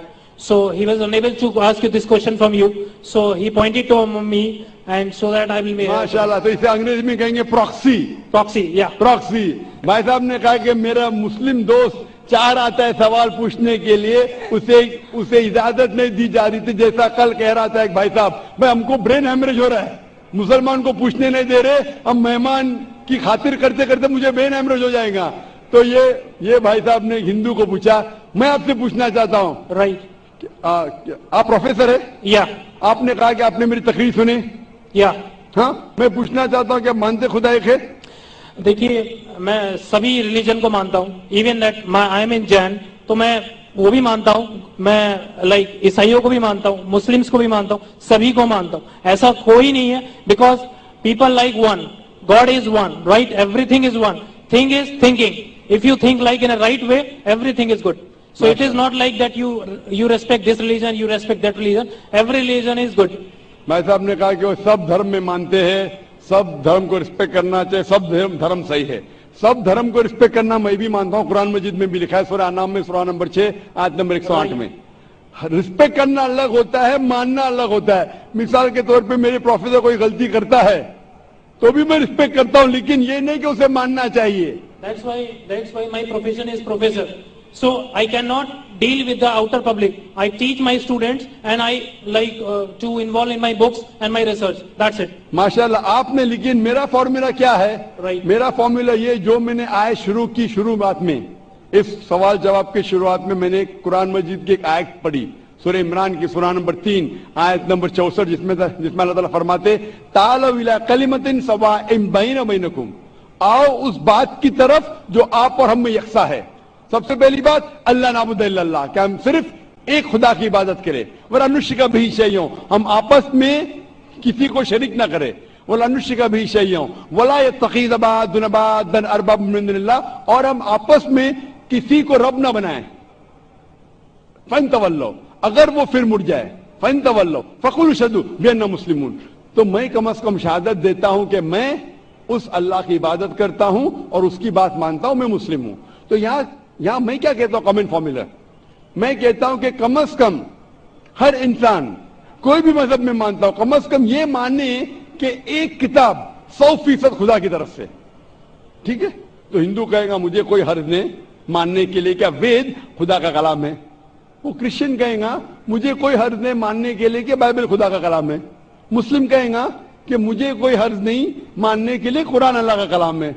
बाद में मैं कहता हूँ, हम कम अज कम उस बात पे अमल करे जो सारी मजहबी किताबों में यकसा है। तो मैं I am student of comparative religion इस्लाम और तकबुल मजाहब का मैं तालिब इल्म हूँ। तो रिसर्च करने के बाद मुझे पता लगा कि सारे मज़हब की किताब कहते हैं कि खुदा एक है। मैं हवाला दे चुका हूँ। हिंदू मज़हब का हवाला दे सकता हूँ। अमृत chapter number six section number two verse number one Shvetashvatara Upanishad chapter number six verse number nine Shvetashvatara Upanishad chapter number four verse number nineteen Yajurveda chapter number thirty two verse number three सब में लिखेला है, भगवान एक है और मूर्ति पूजा गलत है आप बाइबल पढ़ेंगे, book of Deuteronomy chapter number six verse number four उसमें लिखा है कि खुदा एक है। कुरान में लिखे है, सूर्य इखलास में, सूरा नंबर 112 आयत नंबर एक से चार, कि खुलवल्लावद कहो के खुदा एक है। तो मैं कहता हूँ कि जो चीज़ यकसा है कम अज कम उसके ऊपर तो अमल करो। जो इख्तिलाफ है वो कल डिस्कस करेंगे। सही या गलत कल डिस्कस करेंगे। आप प्रोफेसर है। आपको बताएगा कि जो चीज़ सारे किताबों में यकसा है तो सौ फ़ीसद सही होना चाहिए। जो चीज़ में इख्तिलाफ है वो हम कल डिस्कस कर सकते हैं क्या सही है क्या गलत। तो ये फॉर्मूला जो वेन डायग्राम होता है प्रोफेसर है ना. वेन डायग्राम मतलब common it belong to both the circles mathematics, right? माशाल्लाह आपको अल्लाह ने इतना इल्म दिया है। लेकिन वो एक होता है थियोरी एक होता है practice Fine. Theory X and theory Y. Not theory X and theory Y theory X and practical X theory Y and practical Y theory बोलना आसान है. नो बहुत से मुकर्रीन तकरीर करते हैं लेकिन अमल नहीं करते.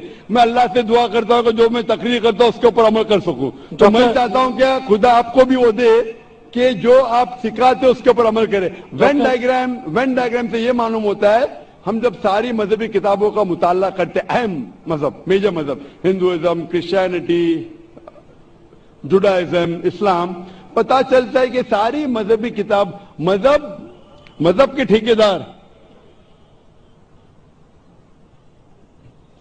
मज़हब के ठेकेदार, क्या सिखाते वो छोड़ो। We have to go to the source मज़हब के ठेकेदार अपने फ़ायदा के लिए अपने फ़ायदे के लिए बहुत से गलत चीज़ सिखाते हैं। What is truth you should follow तो when we go to the source source पे जाते पता चलता खुदा एक है। बुद्ध परस्ती गलत है।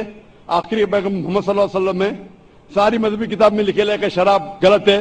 हिंदुइज्म में, क्रिश्चियनिटी में, जुडाइज्म में, इस्लाम में सारी मजहबी किताब में लिखेला है, पोख हराम में, हिंदू मजहबी किताब में लिखेला है, बाइबल में लिखेला है, कुरान में लिखेला है। तो क्यों नाम कम अज कम जो चीज़ यकसा है, उसके ऊपर अमल करें। जो चीज़ इख्तिलाफ है, वो कल डिस्कस करेंगे। तो मैं आपसे पूछना चाहता हूँ वेन डायग्राम आप प्रोफेसर है।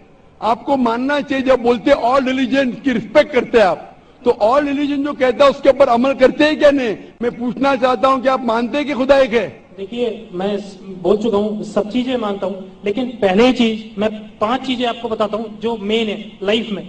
नमो अरिहंतान मीन्स सभी अरिहंतों को नमस्कार। नमो सिद्धानम सभी साधुओं को नमस्कार। नमो आर्यनम, सभी आर्यनों को नमस्कार। नमो जैनम एंड नमो लोही, सवे सवे सामनम। मतलब सभी लोह पुरुष को नमस्कार। तो सभी को नमस्कार करने के बाद आप किसी के बारे में सोचिए, सब चीज़ सही है। बिकॉज़ साहब यू भाई, रेस्पेक्ट एवरीथिंग भाई साहब आपने कहा नमस्कार नमस्कार नमस्कार नमस्कार। आप नमस्कार का मतलब जानते हैं? राइट क्या मतलब है नमस्कार का? नमस्कार का मतलब आपकी moral values you give the respect don't give give me the exact literal meaning what is the meaning of नमस्कार उसका रूट वर्ड क्या है? आप बात कर रहे संस्कृत मैं आपसे पूछता हूँ इसका मतलब क्या? आपको नहीं पता तो मैं बताऊँगा। नमस्कार का मतलब क्या है? What is the literal meaning of the word नमस्कार आप कह रहे हैं आप प्रोफेसर है मैं तालिब इल्म हूँ। राइट मैं अपने आप को स्टूडेंट कहता हूँ। स्टूडेंट प्रोफेसर से पूछ रहा है आपने नमस्कार का लफ्ज इस्तेमाल किया? नमस्कार नमस्कार नमस्कार नमस्कार। मैं तालिब इल्म हूँ आपसे पूछता हूँ नमस्कार की बानी क्या है? आर्यन से नमस्कार साधु संत से नमस्कार। नमस्कार की मानी क्या है? कभी कभी होता है कि स्टूडेंट जरा प्रोफेसर से ऊँचा हो जाता है। नहीं पता तो मैं आपको जवाब दे सकता हूँ। बताइए। नमस्कार आता है लफ्ज इदम नम में से। संस्कृत लफ्ज है इदम नम में से। मतलब मैं आपके सामने झुकता हूँ। उसका मतलब मैं आपकी इबादत करता हूँ। इसीलिए अगर कौन मुझे नमस्कार कहता है तो मैं उसको वापस नमस्कार नहीं बोलता हूँ। मैं इबादत करता हूँ सिर्फ़ एक खुदा की। इदम नम में मतलब मैं आपके सामने झुकता हूँ, मैं आपकी इबादत करता हूँ। ये हिंदू फिलॉसफी है। हिंदू फिलॉसफी लेकिन उनके किताब के खिलाफ है। वेद वेद में नहीं लिखा है। वेद में लिखेला, एक ही ईश्वर की इबादत करो। ये पैंथियज्म जो है वो क्रीपिंग क्या है? पैंथियज्म मतलब सब कुछ खुदा। अक्सर हिंदू से पूछेंगे, कितने खुदा है, कौन कहेगा? तीन, कौन कहेगा दस, कौन कहेगा सौ, कौन कहेगा तैतीस करोड़। एक विद्वान हिंदू से कहेंगे, जो अपने मजहबी किताबें के बारे में जानता है, वो कहेगा, खुदाई की है। तो अक्सर हिंदू बिलीव करते फिलोसफी जिसे कहते पैंथियजम पैंथियज्म मतलब एवरीथिंग इज़ गॉड सब कुछ खुदा है। हम मुसलमान हिंदू कहते सब कुछ खुदा है, ये चाँद खुदा है, सूरज खुदा है इंसान खुदा है, पेड़ खुदा है, सांप खुदा है। हम मुसलमान कहते हैं, सब कुछ खुदा का है। चाँद खुदा का है, सूरज खुदा का है, इंसान खुदा का है, पेड़ खुदा का है, सांप खुदा का है।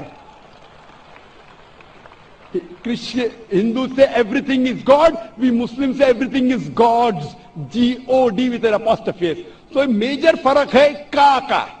ये का के फ़र्क को मिटा देंगे तो हिंदू मुस्लिम एक हो जाएँगे।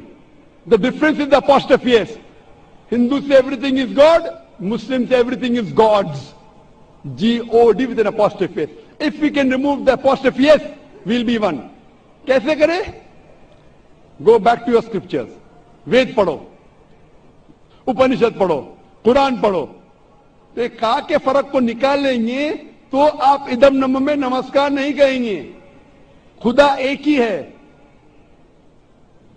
हिंदुइज्म का ब्रह्म सूत्र एकम ब्राह्म देवत्या नास्ते, नैना नास्ते किंचन। भगवान एक ही है, दूसरा नहीं है। नहीं है नहीं है, जरा भी नहीं है। There is only one God not a second one not at all not at all not in the least तो ये चीज़ अगर आप जानेंगे, जो आप चीज़ कह रहे हैं, उसकी मानी नहीं जानते तो अमल कैसा करेंगे? तो इसीलिए प्रोफेसर साहेब मानी जानना ज़रूरी है। और सिखाने के अलावा अमल करना ज़रूरी है। थ्योरी से important is putting in to practice theory पे बोलना चाहिए चोरी मत करो मैं चोरी कर रहा हूँ। झूठ नहीं बोलना चाहिए मैं झूठ बोल रहा हूँ क्या फ़ायदा? तकरीर करना एक अलग बात है अमल में लाना एक दूसरी बात है। इसीलिए इसीलिए मैं आपसे दरखास्त करूँगा। कि आप और मुताला कीजिए, दिगर मजाहब का। कम अज कम शुरू में ये तो मान लो मुताले के बाद कि खुदा एक है। और इस खुदा की बुत परस्ती नहीं करना चाहिए। इसके बाद आपको पता चलेगा दिगर मजाहब में, इस्लाम में, हिंदुइज्म में, क्रिश्चियनिटी में, जुडाइज्म में कि आखिरी पैगंबर मोहम्मद सल्लल्लाहु में। इंशाल्लाह मुताला कीजिए और अमल कीजिए और फिर इंशाल्लाह आपको हिदायत मिलेंगी। Hope answer question Thank you so much. जी माइक नंबर तीन में कोई नॉन मुस्लिम भाई हो सवाल कीजिए। हाँ, नमस्कार। हाँ, डॉक्टर जाकिर नायक साहब को मेरा सादर नमस्कार। और आए हुए सभी मुस्लिम भाई और नॉन मुस्लिम भाई सभी को मेरा नमस्कार। सबसे मेरा सवाल यह है कि ईश्वर, अल्लाह, गॉड जो परम सत्ता है, वह किसी जात, मज़हब, भेष, किसी स्थल का मोहताब नहीं है। वह जर्रे जर्रे में है। कहते हैं, हिंदू भी कहते हैं कि ईश्वर कण कण में है। मेरी उम्र वैसे तो अभी 49 की है, लेकिन मैं एक स्कूल में अब दाखला लिया हूँ, जिसमें अब मैं बड़ा शिशु का ग्रहण कर रहा हूँ, अभी बड़ा शिशु में हूँ। तो वहाँ पर इस खुदा का ज़िक्र भी किया गया और उसका दर्शन भी कराया गया। कहते हैं कि सही मुसलमान वही है जो इस मुसलम को जाना है, देखा है, जो यहाँ नहीं, सर्वत्र है। इंग्लैंड, अमेरिका, पाकिस्तान, सर्व, सारा जहाँ जो है, वही ईश्वर, अल्लाह, गॉड है। वह किसी समय किसी का मोहताब नहीं है। सवाल यही है, जो हमें ईश्वर के बारे में बताया गया है तो वो ईश्वर यहाँ पर मौजूद है और डॉक्टर जाकिर साहब उसे दिखा सकते हैं।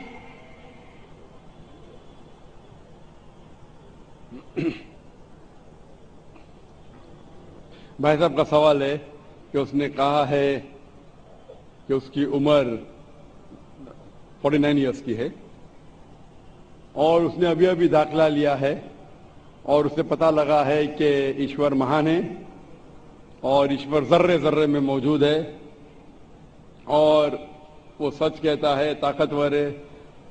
अक्सर चीज़ें आपने जो ईश्वर के बारे में कही है, काफ़ी हद तक सही है। लेकिन इसमें कुछ मिलावट थी। आपकी हिंदू फिलोसफी की और इस्लाम की मिलावट थी। आपने कहा कि ईश्वर यहाँ मौजूद है सब जगह मौजूद है और अगर मौजूद है तो दिखा सकते हैं क्या नहीं? पहला चीज़ हम ये हिंदू फिलोसफी है कि ईश्वर सारे जगह मौजूद है। कुरान मजिद में अल्लाह ताला कहते हैं कि ईश्वर अर्श पे है। ईश्वर की ताकत सारी जगह मौजूद है। अल्लाह has power over all things अल्लाह की ताकत सारे कायनात पे है। जापान में इंग्लैंड में हिंदुस्तान में। वो चाहे तो कुछ भी कर सकता है। चाहे तो। लेकिन ईश्वर सब जगह मौजूद है ये किधर भी नहीं लिखा है कुरान में। ना कुरान में ना कोई भी सही हदीस में क्या ईश्वर सारे जगह मौजूद है। ईश्वर अर्श पे है।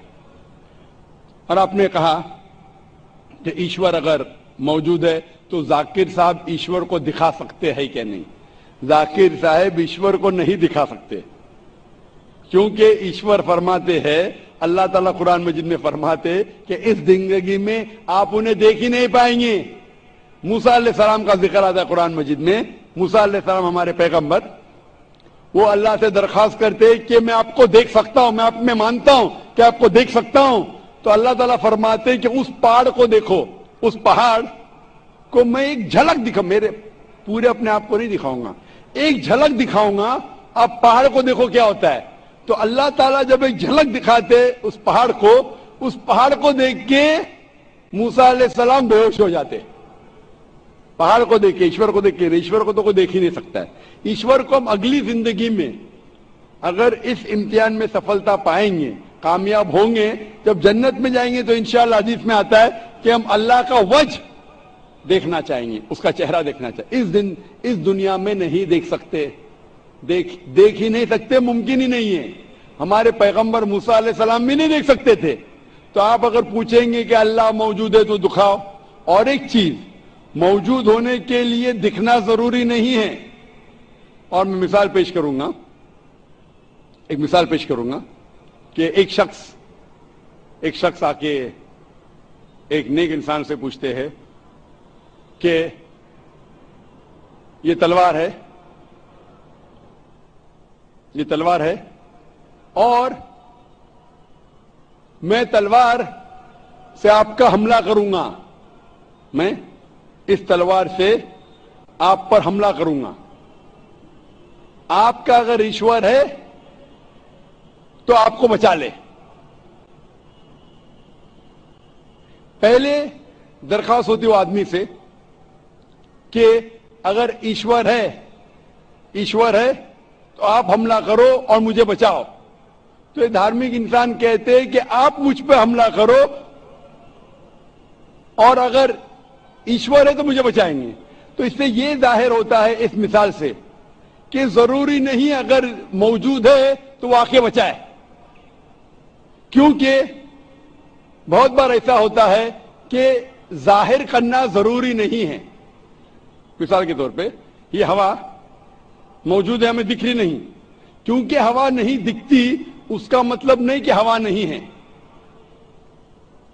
हवा अगर नहीं दिखती, उसका मतलब नहीं कि हवा मौजूद नहीं है। तो ये तरीका है कि ज़ाहिर होना देखना ज़रूर नहीं मानने के लिए कि वो चीज़ मौजूद है कि नहीं। इसी तरीके से हम हम इंसान खुदा को देख नहीं सकते इस ज़िंदगी में। आखिरत में इंशाअल्लाह हम अगर सफलता पाएँगे और जन्नत में जाएँगे तो देख पाएँगे। Hope the answer the question ji mic number चार में नॉन मुस्लिम बहन सवाल कर सकते हैं। मेरा नाम सपना है। मैं आपको सलाम करता हूँ। मैं हिंदू के घर की हूँ। मेरा आदमी मुसलमान है, मोहम्मद हामिद कुरैशी। मैं ये सवाल पूछता हूँ जे पुरखों पुरखों से ये जात भेद का चल रहा है। तो ये हिंदू मुसलमान, आप बोलते हो जो हिंदू मुसलमान अलग अलग नहीं है, ये है। मैं मानती मगर ये बात है, जो हिंदू बच्चा होते हैं तो हिंदू का सलामी दिया जाता है।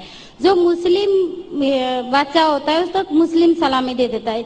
जब भी उसका कान में नमाज़ दिया जाता है, और जब भी हिंदू का बच्चा होता है, उसका नाम पे नाम दिया जाता है, कृष्ण नाम दिया जाता है, या राम नाम दिया जाता है, जो भी दिया जाता है। जिसको जैसा शिक्षा देता है, उसको वैसे ही शिक्षा मिलता है। जैसा हमें सिखाया गया, बचपन से भगवान को मानना है, हम भगवान को मानते हैं। हम मुसलमान धर्म को भी मानते, ऐसा नहीं मानते नहीं। हमें जैसा शिक्षा दिया गया है, वैसे ही शिक्षा में मैं मानता हूँ। मगर आप बोलते हो जो मुसलमान ही होएगा, हिंदू नहीं हो सकता है, ऐसा कैसा बोल सकते हो? तो पुरखो पुरखो इतनी बुज़ुर्ग लोग थे, इतनी जानते। हैं तो आप उस, आपके साथ तो बहस लड़ नहीं सकते आप बहुत जानते हो तो मैं कुछ भी नहीं जानता हूँ। हमारे बाप, दादा दादा दादा, सब जा मतलब इन्होंने देख के आया, या हमने भी देखा है। हम हिंदू की हूँ मगर जो बड़ा बुज़ुर्ग होता है उसको सम्मान कर सकते। हूँ बहन का सवाल है और मुझसे बहस नहीं करना चाहती है मैं भी आपसे बहस नहीं करना चाहता हूँ। कर नहीं सकते कैसे हमें उतना शिक्षा नहीं है उतना बोल नहीं सकते है ना। बहन बहन का सवाल है कि मैं कहता हूँ कि हिंदू मुस्लिम एक है लेकिन जो हिंदू खानदान में पैदा होता है उसे हिंदू शिक्षा दी जाती जो मुसलमान खानदान में पैदा होता है मुस्लिम की शिक्षा दी जाती। तो ये कैसा कह सकते हैं कि मुस्लिम सही और हिंदू गलत ये क्या है? बहन आप कहते हैं कि आपकी शिक्षा कम है। मैं आपसे पूछना चाहता हूँ दो जमा दो कितनी होती है? दो जमा दो कितना होता है? दो जमा दो कितना होता है? हम्म? दो जमा दो कितना होता है? चार होता है। माशाल्लाह। तो ये मत कहो कि आपको शिक्षा नहीं है। अगर गाँव से कोई आती है लड़की हम्म, और कहती है कि मेरे वालिद ने मुझे सिखाया दो जमा दो पाँच हम्म, तो आप क्या कहेंगे उससे? चार होएगा पाँच कैसे चार होगा? पाँच कैसे होगा?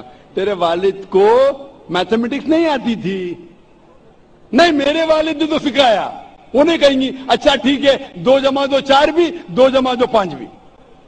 ये कहना गलत है।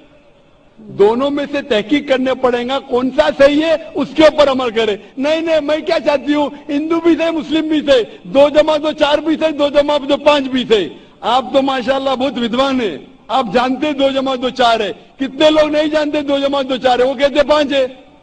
तो क्योंकि खुदा ने आपको इल्म दिया, अकल दिए आपका फ़र्ज़ है कि आप उनसे कहे, बहन जी, दो जमा जो पाँच नहीं, दो जमा जो चार है। फिर वो कहेंगे अच्छा अच्छा दोनों सही है। तो आप बोलेंगे, नहीं, दोनों सही नहीं। दो जमा तो चार ही है। पाँच गलत है।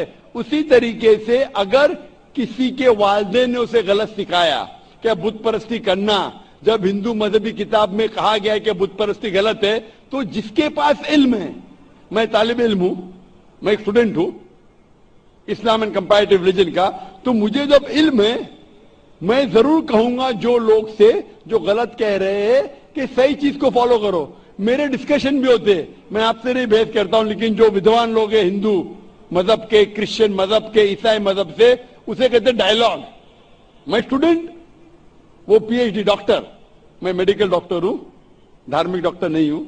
मैं उनसे डिस्कशन करता हूँ डायलॉग करता हूँ डिबेट करता हूँ। अगर मैं गलत, मुझे गलत साबित करो, मैं बदलने को तैयार हूँ। आप मुझे साबित करो कि जो मैं कह रहा हूँ गलत है। क्या मेरा मज़हब गलत है? मैं आपके मज़हब को कबूल करने को तैयार हूँ। ओपन चैलेंज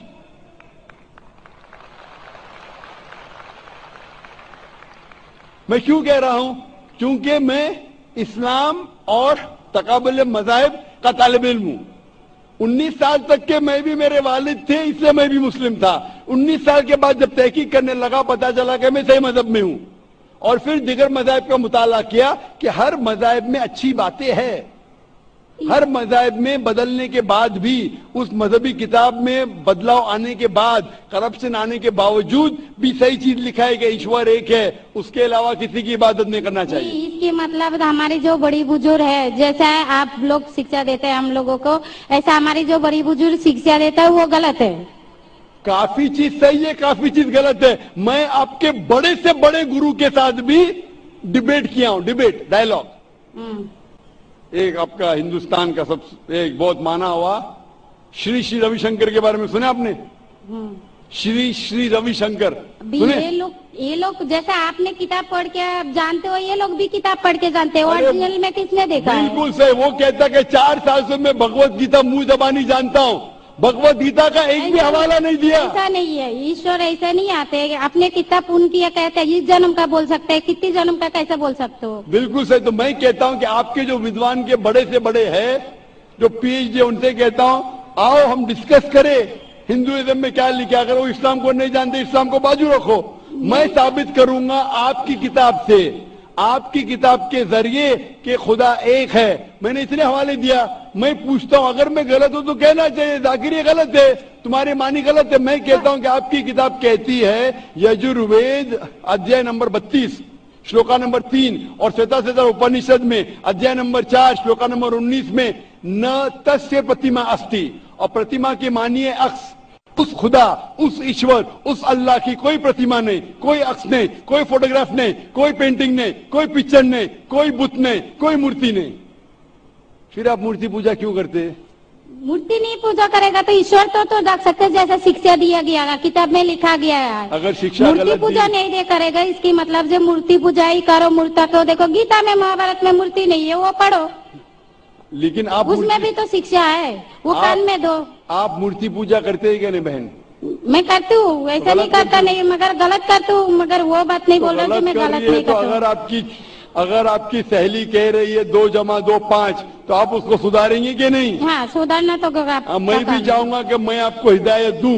हम्म। मैं कह रहा हूँ कि अगर मूर्ति पूजा कुरान में लिखेला गलत है उसको बाजू रखो आप कुरान में नहीं मानती। हम्म। आपके धार्मिक किताब में लिखा है मूर्ति पूजा गलत है मैं हवाला दे रहा हूँ। हाँ वो, तो वो फिर आप क्यों कर रहे हैं, हैं मगर ईश्वर को बुलाना जैसे उनको शिक्षा दिया गया गया जी इस धर्म को ऐसा बुलाया जाए ईश्वर को ही बुलाया जाता है। एक एक चीज़ पे डिस्कस करे फिर दूसरी चीज़ पे जाए। मेरा पहला सवाल है मूर्ति पूजा जब गलत है तो क्यों करती है? आप बुत परस्ती क्यों करती है? अभी उन पुरखों ने वो ऐसा ऐसी करके आया। आज की तो बात नहीं थी हमने मना कर दिया चलो हमने नहीं कर रहा हो। मगर ये पुरखो जब भी जमाना से करके आ रहा है ये लोग तो नहीं बोलेगा जैसे हम नहीं करेंगे हम नहीं करेंगे वो तो नहीं कर सकते ना। अगर जमाने से देहात में सिखाया जा रहा है दो जमा दो पाँच है तो आप उसको मानेंगी। मेरे पुरखे कहते थे दुनिया चपटी है मैं मानूँगा। मेरे पुरखे कहते थे दुनिया चपटी है। मैं पूछता हूँ दुनिया क्या है आज? दुनिया चपटी है क्या? दुनिया गोल है। गोल है। गोल है माशाल्लाह आप तो विद्वान है। हम्म, आप तो जानती है। हम्म। तो अगर मेरे बाप दादा कहते थे दुनिया चपटी है तो क्या करूँ मैं? उसकी बात को मानू क्या छोड़ दू। तो उस टाइम क्या जमाना चलता नहीं था? बिल्कुल सही आज का जमाना है। आप इस उस टाइम बल्कि अच्छा जमाना था अभी का जो जमाना है ना उस टाइम बल्कि अच्छा था है। था। पहले अभी निक नहीं है। पहले ऐसे प्रचार नहीं होते थे जहाँ करोड़ों लोग एक साथ में देख सकते थे। आज के प्रचार में यहाँ लाखों लोग जमा है। लाखों लोग के साथ साथ टेलीविज़न पे करोड़ों लोग देखते। तो आपको कोई अभी कोई बहाना नहीं मिलेगा। करोड़ों के सामने आपको कहा गया है कि क्या मूर्ति पूजा गलत है? फिर भी आप करेंगी तो आपको कोई बहाना नहीं रहेगा बाकी। मूर्ति पूजा गलत है मगर मैं एक धर्म के बारे में बोला जो उनमें जो लिखाया गया। आपकी कुरान शरीफ में जैसे लिखाया गया हमारे गीति महाभारत में लिखाया गया। मगर वो पढ़ना तो गुना नहीं है ना। ने किधर मैंने कब बोला कि गीता मैं भी गीता पढ़ता हूँ। हम्म, मैंने कब कहा कि गीता पढ़ना गलत है? मैं भी गीता पढ़ता हूँ मैं बाइबल भी पढ़ता हूँ मैं यहूदी किताब भी पढ़ता हूँ वेद भी पढ़ता हूँ। आपने कितना पढ़ा मुझे पता नहीं मैं? पढ़ा नहीं हूँ मैं अनपढ़ हाँ, हूँ मैं लेकिन पढ़ा हूँ हाँ आप इसीलिए मैं पहले ही बोला आपके साथ बैर नहीं लड़ सकती। आपकी बराबरी करना भी मेरा काम नहीं है। हाँ तो मैं आपसे बहस नहीं कर रहा हूँ मैं मैं सिर्फ़ इल्तिजा कर रहा हूँ। मगर मैं नहीं बोल कर रहा हूँ। हमारी पुरखो पुरखो ये जो करके आया तो ये क्या गलत है? इसीलिए मेरे पुरखों कहते थे कि ज़मीन चपटी है। दुनिया चपटी है तो मानू मैं उसकी पुरखों की बात? मैं पुरखों की इज़्ज़त करूँगा? भाई मेरे बड़े थे मेरे बाप दादा थे। इज़्ज़त करना ज़रूरी नहीं कि उनकी बात को मानना। हम्म, अगर मेरे पुरखे कहते थे दो जमा दो पाँच तो क्या मानू? मैं कहूँगा मैं उनके अदब से पेश आऊँगा। मैं उनको गाली नहीं दूँगा। मैं उनकी इज़्ज़त नहीं निकालूँगा। हाँ, प्यार से आऊँगा लेकिन कहूँगा कि आप गलत है। हम्म, अगर नहीं भी कहूँगा तो कम अज कम मेरी ज़िंदगी में उसके ऊपर अमल नहीं करूँगा। हम्म, तो मैं पूछना चाहता हूँ कि जो आपकी धार्मिक किताब कहती है आपकी शोहर की किताब आप शोहर से शादी किए ना? लव मैरिज था? हाँ। हाँ।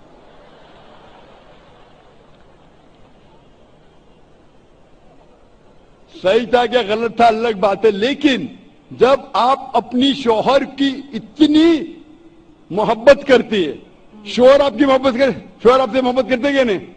करते ना? मैं भी मेरी बीवी से बहुत मोहब्बत करता हूँ।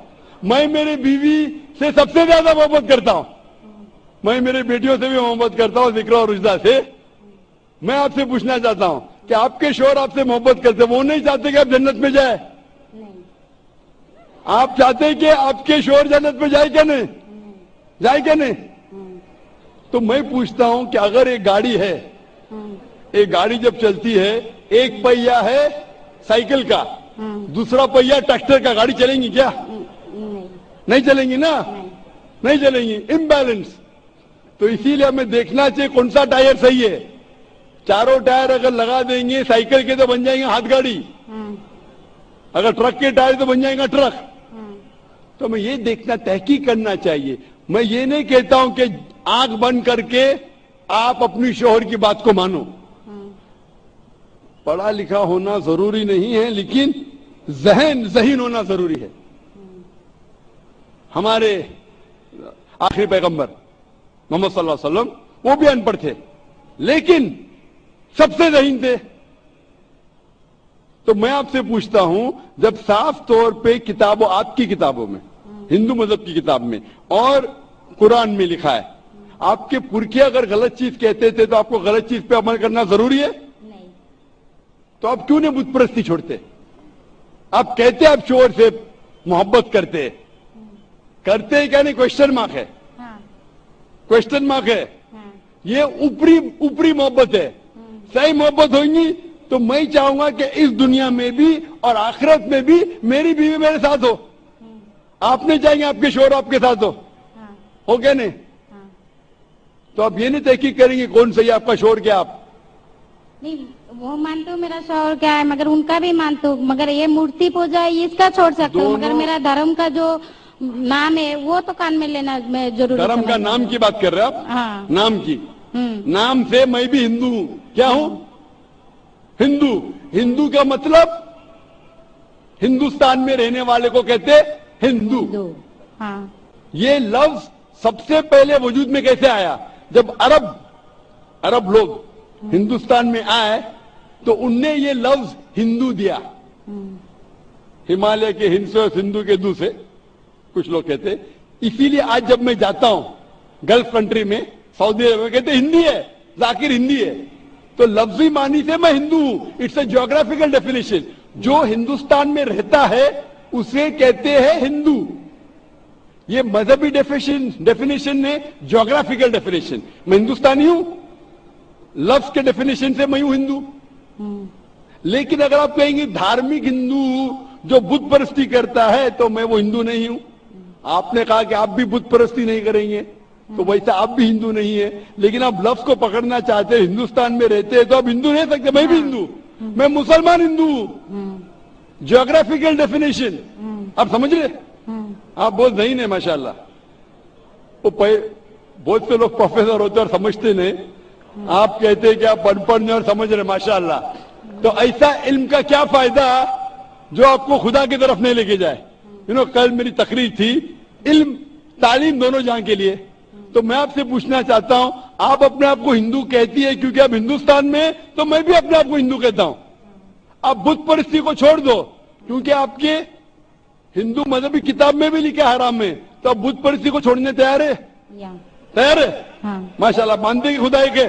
हाँ आप मानते हैं कि मोहम्मद सल्लल्लाहु वसल्लम आखिरी पैगंबर है? हाँ। माशाल्लाह। उसका मतलब मुस्लिम है? हाँ। तो आदमी के पास आएगा तो मुसलमान ही है। जी? आदमी मुसलमान होएगा तो औरत जात मुसलमान ही होता है औरत जात का कोई हाँ, जात आदमी है तो मुसलमान है। कभी कभी ज़रूरी नहीं उल्टा भी होता है। जो औरत है वो आदमी बन जाता है। क्योंकि एक मैं कहूँगा सही है क्या बताने दिल लगाया गदी से तो परी क्या चीज़ है? तो प्यार अंधा भी होता है। मेरी उर्दू इतनी महान नहीं है तो शेख फैजुर रहमान मुझ पे हंसेंगे उन्हें कौन सा शहर कह दिया ऐसा? सब शहर पब्लिक के लिए नहीं होते। तो मैं कहना चाहता हूँ कि आपने शादी तो किया मोहब्बत तो की लेकिन अमल में आप अगर बुद्ध परिस्थिति को छोड़ने तैयार है एक खुदा को मानने तैयार है। एक और मानने को तैयार है कि मोहम्मद वसल्लम आखिरी पैगंबर है तो आप अपने आप को मुस्लिम कह सकती है। हाँ मैं मुस्लिम तो हूँ। माशाअल्लाह तो आप मानते हैं कि खुदा एक है? हाँ। आप मानते बुत परस्ती गलत है? हाँ गलत है। आप मानते हैं कि मोहम्मद वसल्लम आखिरी पैगंबर है? हाँ। आपको कोई भी ज़बरदस्ती कर रहा है इस्लाम कबूल करने के लिए? नहीं नहीं। माशाल्लाह कितने साल पहले आपकी शादी हुई? मेरे को अभी आठ नौ साल हो गया। नौ साल हो गए आपके शोहर ने ज़बरदस्ती नहीं किया। सही क्या है गलत क्या बाद में डिस्कस करेंगे। लेकिन आज आप अपने दिल से कबूल करना चाहती है इस्लाम? हाँ। आप पे कोई भी दबाव नहीं? नहीं। आप दिल से करना चाहती है? हम्म। इंशाल्लाह मैं अरबी में कहूँगा आप उसे दोहराइए।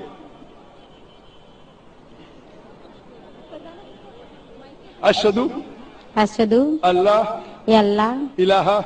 इलाहा। इल्लल्लाह। इल्लल्लाह व अशदु वसदु अन्ना अन्ना मोहम्मदन मोहम्मद मोहम्मदन मोहम्मदन अब्दहु अब्दुहु व रसूलुहु मैं शहादत देती हूँ ये मैं शहादत देती हूँ के के अल्लाह अल्लाह के अलावा अलावा कोई कोई माबूद नहीं मबूद नहीं और और मोहम्मद मोहम्मद सल्लल्लाहु सल्लल्लाहु वसल्लम अलैहि वसल्लम उसके उसके पैगंबर पैगंबर और बंदे हैं। बंदे हैं। माशाल्लाह माशाल्लाह। आप नौ साल के बाद अब मुसलमान हो चुकी है।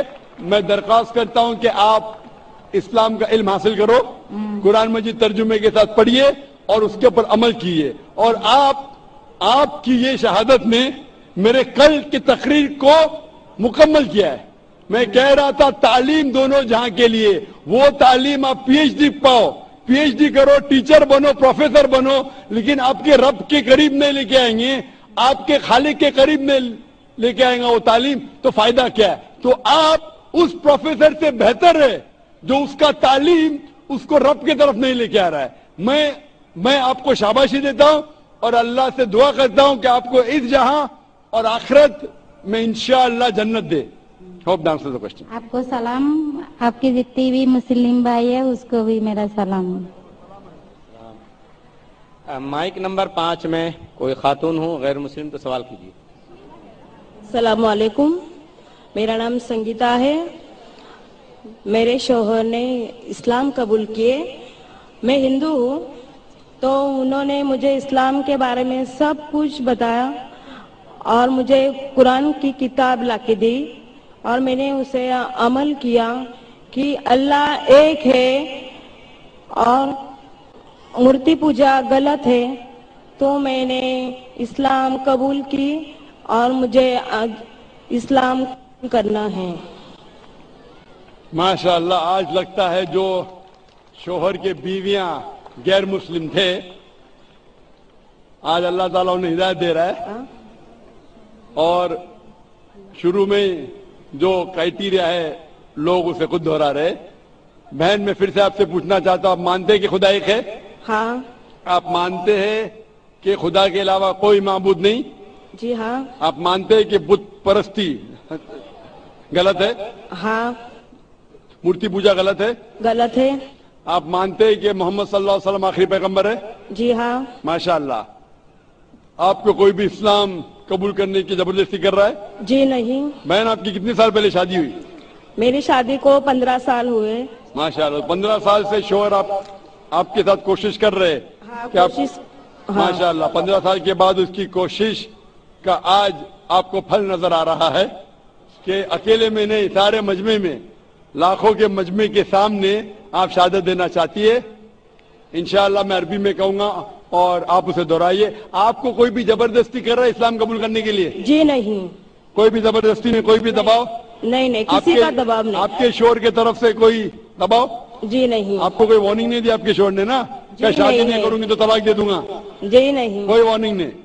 मैं अपनी मर्ज़ी से तो इस्लाम कबूल करना चाहती हूँ। माशाल्लाह मैं अरबी में कहूँगा और आप उसे दोहराइए। अशदु अशदु अल्लाह अल्लाह इलाहा इलाहा इल्लल्लाह इल्लल्लाह व अशदु व अशदु अन्ना अन्ना मोहम्मदन मोहम्मदन अब्दुहु अब्दहु व रसूलुहु।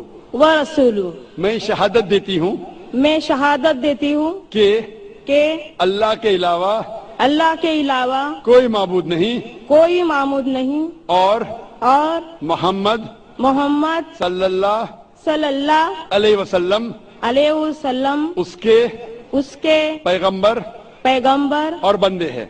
और बंदे हैं। माशाल्लाह मुसलमान हो चुकी है और अल्लाह आपको जजाय खैर दे और मैं दुआ करता हूँ कि आप इस्लाम के बारे में और पढ़िए कुरान मजीद का तर्जुमा पढ़िए और उसके ऊपर अमल कीजिए। कुरान मजीद इंसानियत के लिए सबसे बेहतरीन किताब दुनिया में है। सारी दुनिया में सबसे बेहतरीन किताब है कुरान मजीद हिदायत के लिए। आप उसका तर्जुमा पढ़िए और उसके ऊपर अमल के लिए इनशाला मैं दुआ करूँगा कि अल्लाह आपको इस जहाँ और आखिरत में भी इनशाला जन्नत फरमाए। इंशाअल्लाह। और मेरा एक सवाल है जी हाँ। ताकि मैं इस्लाम कबूल की हूँ तो मुझे इस्लाम के तरीके निकाह करना पड़ेगा क्या? बहन का अहम सवाल है क्या आपने इस्लाम कबूल कर चुके हैं तो क्या इस्लाम के तरीके से निकाह करने पड़ेगा बेशक। क्योंकि पहले आपने कैसे निकाह किया मैं जानता नहीं हूँ, लेकिन अगर सही तरीके से, जिस तरीके से निकाह करना चाहिए, नहीं किया, आपको करना पड़ेगा। और और एक चीज़ ज़रूरत है, आपके शोहर, होने वाले शोहर या शोहर को मेहर देने पड़ेगा। आपका फ़ायदा है? आपका फ़ायदा है? आप मेहर पूछ सकती है कि आप, आपके शोहर या आपके होने वाले शोहर से क्या मुझे एक लाख मेहर जो हो सकता है आप दो लाख पूछ सकती है, मुझे पता नहीं क्या ताकत है आपके शोहर की। पाँच लाख भी पूछ सकती है। मेहर पूछ सकती है, ये आपका हक है। क्योंकि कुरान में अल्लाह ताला फरमाते सूरह निसा में सूरह नंबर चार, आयत नंबर चार, कि शादी के वक्त अपनी होने वाली बीवी को एक तोहफा दो, जिसे कहते हैं मेहर। मेहर शादी के लिए, निकाह के लिए फ़र्ज़ है। और आपको इस्लामिक तरीके से शादी करने पड़ेगा, और इंशाअल्लाह कोशिश करो कि जितनी भी आप में, जितनी भी आप जानकारी रखते इस्लाम के बारे में, उसके लिहाज से आप और आपके शोहर उसके ऊपर इंशाअल्लाह अपनी ज़िंदगी बसर करें। Hope the answer the question ji mic number एक में कोई नॉन मुस्लिम भाइयों सवाल कीजिए। जाकिर साहब सलाम अलैकुम मेरा नाम अर्जुन है। मैं मुंबई का हूँ। मैं हमेशा परेशान रहता हूँ। तो मैं एक दिन सिकंदर भाई को मिले थे एक साल हो गया। तो मुझे कलम लिख के दिए। मुझे कलमा पढ़ने के आपसे। बस सब लोग से मुझे दुआएँ चाहिए। सब भाई बहन इसके लिए आज दुआ करें प्लीज़ भाई ने कहा कि वो एक साल से परेशान है और वो इस्लाम कबूल करना चाहता है। भाई साहब इस्लाम का मतलब है शांति। शांति। मैं दुआ करता हूँ कि इंशाअल्लाह आपको शांति मिले। मैं पूछना चाहता हूँ कि आप मानते हैं कि खुदा एक है? हाँ मानता हूँ। आप मानते हैं कि बुत परस्ती गलत है? हाँ गलत है। आप मानते हैं कि मोहम्मद सल्लल्लाहु अलैहि वसल्लम आखिरी पैगंबर है? हाँ पैगंबर। आप कितने वक्त से इस्लाम के बारे में पढ़ रहे या इस्लाम के बारे में कसर देख रहे अभी एक दो महीना हो गया। एक दो महीना माशाल्लाह। आप इस्लाम के चीज़ के ऊपर जो भी आप इस्लाम के बारे में जानते हो उससे खुश है? हाँ। आप इस्लाम दिल से कबूल करना चाहते हैं? हाँ। आप पे कोई भी ज़बरदस्ती कर रहा है? नहीं। कोई भी दबाव? नहीं नहीं। आपका दोस्त का दबाव है क्या? नहीं करेंगे तो मारूँगा। कल एक सवाल है। हाँ जी हाँ, सवाल पूछिए। अभी इस्लाम कबूल करने के बाद देव देवता कुछ से जी? इस्लाम कबूल करने के बाद? देव देवता से डर लग रहा है देव देवता भाई ने कहा कि इस्लाम कबूल करने के बाद देव देवता से डर लगता है। अल्लाह ताला फरमाते सूरह इमरान में सुना नंबर तीन आयत नंबर 160 में कि अगर अल्लाह आपके साथ है अल्लाह मदद आपकी करे अल्लाह मतलब? ईश्वर। ईश्वर ने परमेश्वर। ये ईश्वर जो ये हिंदी लफ्ज है ना इसमें मिलावट ईश्वर मतलब ईश्वर के ऊपर होता है परमेश्वर। तो इसलिए परमेश्वर कह रहा हूँ मैं। ये अल्लाह वर्ड एकदम साफ़ है। गॉड भी अंग्रेज़ी में मिलावट goddess god father god mother मिलावट हो सकती है। खुदा ना खुदा ईश्वर परमेश्वर देव देवता देवी ये सब मिलावट है इससे डरो मत। सही लफ्ज है अल्लाह। अगर अल्लाह आपकी मदद करता है कुरान मजिद में इसका ज़िक्र आता है, सूरह इमरान में, सूरह नंबर तीन आयत नंबर एक सौ साठ में तो कोई भी आपको नुकसान नहीं पहुँचा सकता है। लेकिन अल्लाह आपकी मदद नहीं करेगा तो कोई भी आपको बचा नहीं सकता। इसीलिए कह दो मोमिन से कि अल्लाह पे ईमान लाओ। अगर आप अल्लाह आपके साथ है तो कोई भी आपका बाल भी नहीं बाका कर सकता है। कोई भी। देव, देवता, छोड़ो, कोई भी इंसान नहीं। तो इसीलिए मोमिन को परमेश्वर सबसे ऊँचे जो हमारा खालिक है, हमारा रब है, हमारा बनाने वाला है, हो सकता है कि शैतान आपको भड़का सकता है। ऐसा करोगे तो हो सकता है कि आपके पड़ोसी आपको मारेंगे, आपके पड़ोसी आपको नुकसान पहुंचाएँगे।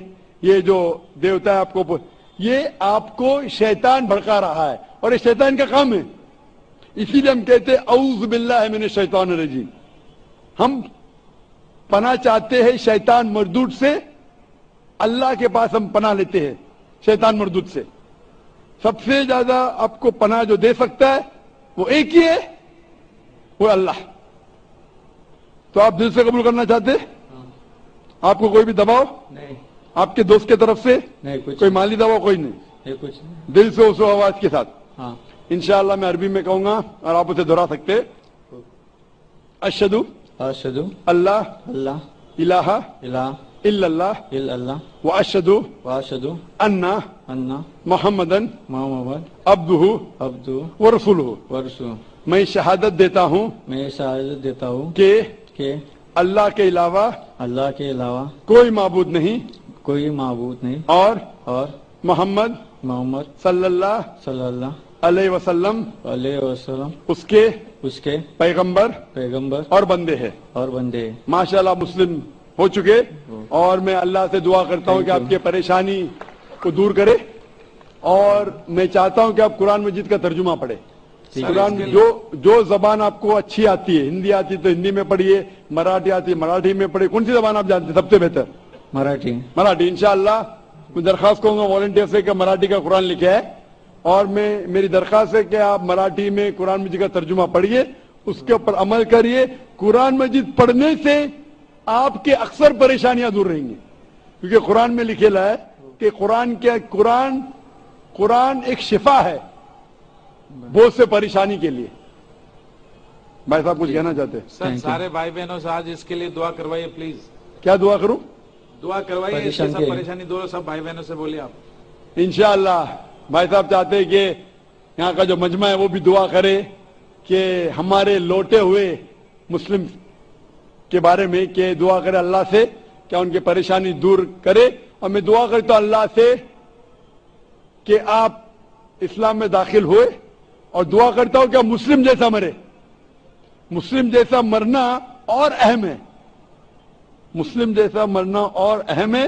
और दुआ करता हूँ कि अल्लाह आपको जन्नत नसीब फरमाए। ठीक है। अब आंसर क्वेश्चन थैंक यू जी माइक नंबर दो में जो भाई खड़े हैं वो सवाल कीजिए। मेरा नाम विजय सोनी है। मैं मध्य प्रदेश एमपी से आया हूँ। एक छोटा सा काम करता हूँ यहाँ। और मैंने सुना कि यहाँ जाकिर का प्रोग्राम हो रहा है। मेरे अंदर ऐसा कुछ भी नहीं है। मैं मानता हूँ कि खुदा अल्लाह पाक एक है। ईश्वर एक है। कुरान बाइबिल हर जितने भी मज़हब कभी कभी किसी को गलत राह नहीं दिखाते। फिर भी इंसान भटकता है क्यों? आज लोगों को बीमारियाँ हो रही, ट्रेन से जा रहे हैं, गिरते हैं, मरते हैं, बीमारियाँ, अंधे, लंगड़े, लूले, क्यों? ऐसी क्या कमी है? अल्लाह पाक से हमको दुआ करना चाहिए कि हमें अल्लाह पाक एक नेक इंसान बनाए और दुनिया में रहना चाहिए। फिर भी ऐसा क्यों? भाई साहब का सवाल है कि वो मानता है कि अल्लाह सुबहान एक है और वो कहते हैं कि बाइबल, कुरान, वेद ये सब मज़हब की किताबें सही चीज़ सिखाते फिर भी इंसान भटकता क्यों? ये कहना कि सारी मजहबी किताब जो आज मौजूद है, सही कहती है, मैं मैं इस बात को नहीं मानता हूँ। मैं एक तालब इल्म हूँ। मैंने बाइबल पढ़ चुका हूँ, वेद पढ़ चुका हूँ, गीता पढ़ चुका हूँ, और कुरान मजिद भी पढ़ चुका हूँ। कुरान के अलावा जितनी दीगर मजाहब की किताब है, इन सालों में इनमें मिलावट हो चुकी है। बाइबल के स्कॉलर्स कहते हैं कि Bible has been corrupted it has been concocted it has been fabricated तो कुछ चीज़ लेकिन बाइबल में अब भी सही है। कुछ चीज़ सही है, कुछ चीज़ गलत है। बाइबल में कितनी अनसाइंटिफिक चीज़ें हैं। खाली आप पहला चैप्टर पहली बुक पढ़ेंगे जेनेसिस चैप्टर नंबर वन उसी के अंदर आपको कई अनसाइंटिफिक चीज़ मिलेंगे। इसमें लिखा है book of Genesis chapter number एक वर्ष नंबर सोलह में कि खुदा ने दो बॉडीज बनाए। दो लाइट देने के बॉडीज बनाए जो रोशनी देती है। सूरज जो दिन में रोशनी देता है चाँद जो रात में रोशनी देता है। आज की साइंस कहती है कि चाँद की खुश की रोशनी है ही नहीं। वो रिफ्लेक्टेड लाइट है। उसका मतलब बाइबल के अंदर खुदा ने गलती की? नहीं। नहीं। इसमें इंसान ने मिलावट की। और ऐसे में सैकड़ों मिसाल दे सकता हूँ, वक्त की किल्लत होने की वजह से नहीं देना चाहता हूँ। इसी तरीके से वेद में भी मिलावट है, ओल्ड टेस्टमेंट में मिलावट है, न्यू टेस्टमेंट में। कुरान एक वाहिद मजहबी किताब है, जो 1400 साल के बाद भी माशाल्लाह पाक है, क्योंकि अल्लाह सुबहाना तआला फरमाते कुरान मजीद में सूर्य 15 में, सूरह हिजर, सूरह नंबर 15 आयत नंबर 87 में, कि मैंने ये कुरान नाजिल किया हूँ और मैं इसकी हिफाजत करूँगा। मतलब जितनी मजहबी किताब पहले आए, वो सिर्फ़ एक वक्त के लिए थी। इसीलिए खुदा ने उसे अहम नहीं समझा कि उसे महफूज रखे। क्योंकि कुरान मजीद इंसानियत के लिए आखिरी पैगाम है। अल्लाह ताला खुद अपने आप पे लेते हैं और कहते हैं कि इस किताब में कोई भी मिलावट नहीं कर सकता। और इस किताब के ज़रिए अगर आपको पढ़ेंगे तो कभी भी भटक नहीं सकते। पढ़ने के बाद अगर उस पर अमल करेंगे तो कभी भी नहीं भटक सकते। पढ़ने के बाद उसके ऊपर अमल नहीं करेंगे तो भटक सकते हैं। आप पूछते क्यों इंसान भटकते? क्योंकि इंसान की फितरत है। इंसान को अल्लाह सुबहाना तला ने फ्री विल दिया है। फ्री विल मतलब आपको इजाज़त दी है कि आप अल्लाह की बात को माने और चाहे तो न माने। बाकी जितनी अल्लाह के मखलूकत है all the creation got no free will except for jinn and इंसान इंसान और जिन को छोड़ के बाकी क्रिएशन को कोई भी फ्री विल नहीं है। इंसान अल्लाह के सबसे बेहतरीन क्रिएशन है। जिसमें अल्लाह ताला फरमाते कि इंसान चाहे तो अल्लाह के अहकाम पे अमल कर सकता है चाहे तो नहीं कर सकता है। अगर आप अमल करेंगे तो आप फरिश्ते के भी ऊँचे जी जी। क्योंकि फरिश्ते को कोई इजाज़त नहीं अल्लाह के खिलाफ जाने के लिए। जो। अल्लाह बोलता मानते। मानते हैं। अगर आपके पास फ्री विल होने के बाद आप अल्लाह की बात मानते तो आप फरिश्ते से भी ऊँचे हैं। अगर नहीं मानेंगे तो आप फिर शैतान जैसे बन जाते। तो ये इम्तिहान है। आप मुझे पूछ रहे ये एग्जामिनेशन में टीचर कुछ लोग को फेल क्यों करती है? नहीं एक्चुअली जो आप बोल रहे हैं मैंने ये मैं ये बोल रहा हूँ आज की डेट में हज़ारों लोग डेली मरते हैं और हज़ारों बीमारियाँ पैदा होती हैं। और जन्म जन्मांतरों से हमको कुरान है उस शिक्षा दी जाती फिर भी लोग अमल क्यों नहीं करते? भाई साहब ने उस- पूछा हज़ारों लोग मर रहे। हाँ। भाई साहब उससे ज़्यादा लोग पैदा हो रहे। वो हज़ारों लोग मर रहे उससे ज़्यादा लोग पैदा हो रहे हैं। पैदा हो रहे हैं ना? ये अल्लाह का मरने से आप जहन्नम में नहीं जाएँगे। मरना मतलब इम्तिहान का टाइम घंटी बच गई। इंसान एक भाई साहब हाँ। आप सवाल कह रहे मुझे जवाब देना बाकी लोग भी ठहरे हुए। जी जी। आप अगर सवाल पे सवाल पूछते जाएँगे तो बाकी लोग को वक्त नहीं मिलेगा। उसूल है क्या एक सवाल पूछना मैं आपको दो की इजाज़त दिया तीन की दिया। आप अगर बहस करने लगेंगे तो मुश्किल हो जाएँगी। नहीं बहस नहीं कर रहा। नहीं क्योंकि ये सवाल जो आपका सेशन है। आप जो सवाल के उसका जवाब नहीं सुने दूसरा सवाल पूछ रहे। आपने पूछा कि हज़ारों लोग मर रहे तो मैं कह रहा हूँ कि हज़ारों लोग पैदा भी हो रहे। फिर भी पॉपुलेशन का प्रॉब्लम है। हज़ारों बीमारियाँ पैदा हो रही हैं।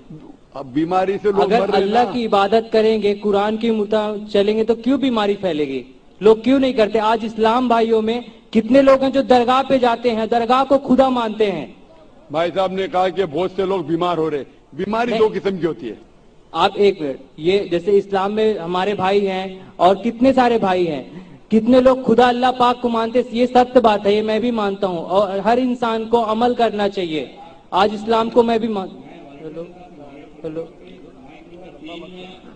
कोई भाई भाई साहब तो आपके आखिरी आखिरी सवाल का जवाब दूँगा। भाई साहब आपके आखिरी सवाल का जवाब दूँगा। आप बोलते बहुत से लोग बीमार बीमार होने के दो किस्म के होते हैं। एक होती जिस्मानी बीमारी एक होती रूहानी बीमारी। जिस्मानी बीमारी के वजह से कोई भी जन्म में नहीं जाएगा। बीमार होना इंसान की फितरत है नॉर्मल कुछ गलत बात नहीं बीमार होना। बीमार होना का मतलब नहीं कि आप जन्नत में नहीं जा सकते। लेकिन रूहानी बीमारी होंगी तो प्रॉब्लम है। बहुत से लोग कहते अपने आप को मुसलमान अगर शिर करते तो उसे जन्नत नहीं मिलेंगी। मैं आपसे पूछना चाहता हूँ बाकी लोग को छोड़ो आप एक खुदा में मानते? खुदा को मानता हूँ। आप बुद्ध परस्ती को गलत समझते सही समझते? गलत है ना वो। आप आप मानते हैं कि मोहम्मद सल्लल्लाहु अलैहि वसल्लम आखिरी पैगंबर है? अभी खुदा तो एक है, अभी अल्लाह ताला कितने पैगंबर भेजता है मैं भी नहीं जानता। नहीं मैं भी नहीं जानता हूँ। लेकिन मुझे ईमान रखना पड़ेगा, जितने पैगंबर है वो सही है, और आखिरी पैगंबर पे तो ईमान रखना पड़ेगा। मैं भी नाम नहीं जानता हूँ जितने पैगंबर है। मोहम्मद फरमाते कि इस इस ज़मीन पे एक लाख चौबीस हज़ार पैगंबर है। नाम से सिर्फ़ पच्चीस का ज़िक्र है कुरान मजिद में। मैं उन पे ईमान लाता हूँ। लेकिन अमल करता हूँ आखिरी पैगंबर के सुन्नत और सीरा पे। मैं पूछना चाहता हूँ आप मानते हैं कि मोहम्मद सल्लल्लाहु वसल्लम आखिरी पैगंबर है? मैं मैं मानता हूँ पैगंबर हज़रत मोहम्मद साहब के जो कुरान में लिखा हुआ है लोगों को अमल करना चाहिए मेरे को भी अमल लोगों करना को चाहिए। छोड़ो आप अमल मैं- करने को तैयार है? मैं कोशिश करता हूँ चलने की। बिल्कुल सही कोशिश करो अमल में ऊंच नीचू चलेगा कोशिश करते क्या आप? कोशिश करता हूँ। आप मानते खुदा एक है? खुदा एक है। आप मानते बुत परस्ती गलत है? हाँ गलत है। आप मानते मोहम्मद आखिरी पैगंबर है? खुदा एक है। आज मैं इस्लाम कबूल करूँ आपके मैंने कलमे को मैं कबूल किया। पर अगर मैं गलत करूँगा तो गलत है ना? खुदा भी गलत ये- कहेगा। यही सवाल यही सवाल मुझे एक शख्स ने पहले पूछा था। अगर मैं इस्लाम कबूल करूँ मुसलमान बनूं और कुछ गलती करूँगा तो? तो गलती, गलती मैं नहीं ये इंसान है। हाँ, मालूम है अबे मैं भी गलती करता हूँ। मैंने पहले कह चुका हूँ कि ये डॉक्टर जाकिर नाइक मैं ये नहीं कहता कि मैं सौ फ़ीसद सा, सारी बातों पे अमल करता हूँ इस्लाम की। मैं ये नहीं कहता कि सौ फ़ीसद में पक्का मुसलमान हूँ। मैं कोशिश करता हूँ ये इंसान गलती का पुतला है। इंसान गलती करेगा ही। अल्लाह के मेहरबानी के बिना अगर अल्लाह मेहरबान नहीं है तो कोई भी इंसान जन्नत में नहीं जा सकता ना तुम ना मैं। आप समझ रहे? जी। गलती करे प्रॉब्लम नहीं लेकिन सबसे अहम गलती से दूर रहो।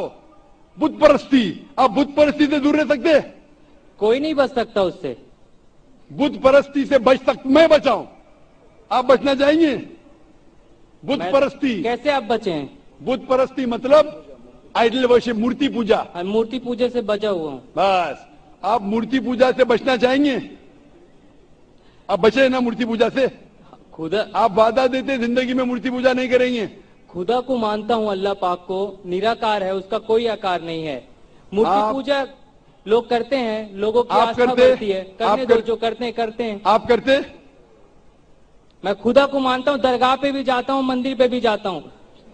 कोई जाना कोई गलत नहीं है। ऑस्ट्रेलिया कई सारे भाई आखिरी पूछूँगा कि गलत जगह पे जाना गलत है सही जगह पे जाना सही है। आपको अगर अल्लाह की इबादत करना है तो जाइए मस्जिद में। मस्जिद मतलब सिजदा की जगह। जहाँ नमाज़ पढ़ी जाती है वो जगह को क्या कहते हैं? मस्जिद। जी। आप मस्जिद जाओ वो सही जगह है। मस्जिद जाके अल्लाह की इबादत करो वो सही है। उसके अलावा आप गलत जगह जाएँगे तो आप सही रास्ता नहीं पाएँगे।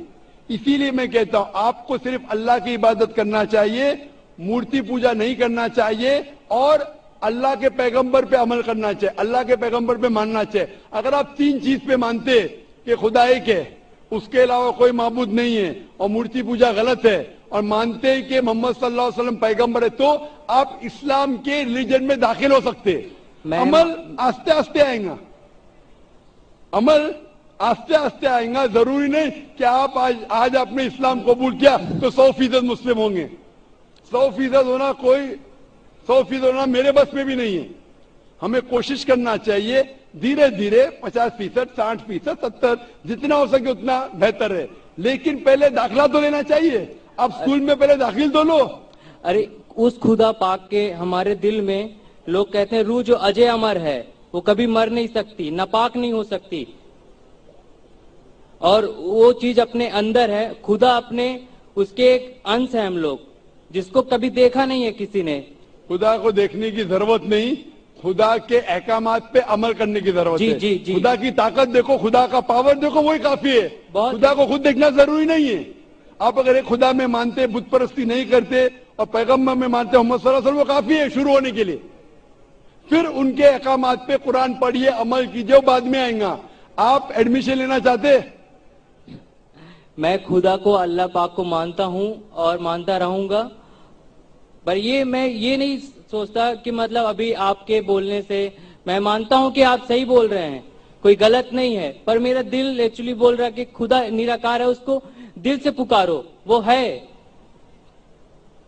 और लोगों को यहाँ से इस कैंप पार्क जाने के बाद, लोग सोचेंगे कि गलत बोला अच्छा बोला, लोग उसमें खूबियाँ निकालेंगे, और जो सही है, वो अल्लाह ताला की बात को समझेगा। और यहाँ से कितने हज़ारों लोग हैं, और लाइव टेलीकास्ट आज टीवी पे देख रहे हैं।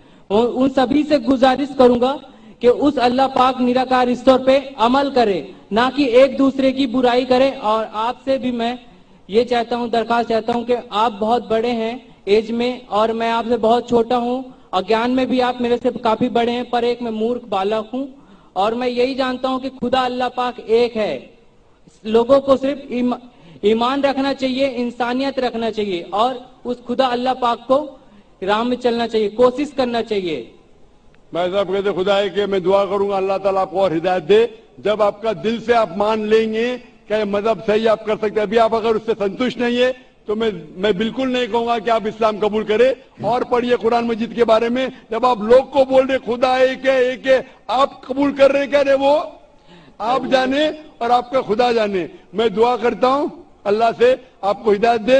मैं चाहूँगा कि कोई वॉलंटियर अगर इसको कुरान मजीद का तर्जुमा देख सके उसके ऊपर पढ़िए और कुछ अगर परेशानी पेश है कुरान मजीद के बारे में आप मुझे इंशाल्लाह डोंगनी में आके सवाल कर सकते हैं। नहीं कुरान में कोई गलत नहीं लिखा हुआ है। जी माइक नंबर तीन में कोई भाई सवाल हो सवाल करना चाहे नॉन मुस्लिम भाई तो कर सकते हैं। सर? हाँ, मेरा नाम महेश महेश कदम है और मैं चिटाकाम डी सेक्टर से हूँ। तो मेरे को ये सवाल पूछना है कि आज से छह महीने पहले की बात है। अ, मैं बहुत बीमार था और अ, मैंने बहुत अपना इलाज कराया लेकिन मेरे को कुछ फ़र्क नहीं पड़ा। तो मेरे को फ़र्क क्यों नहीं पड़ रहा करके ये बात को मैं बहुत सोच रहा था। तो मुझे मालूम पड़ा कि मैं जिस इलाके में रहता हूँ वो एरिया में गोश्त खाने के लिए मनाही है तो थोड़े दिन के बाद मैं चिता कैम्प में आया।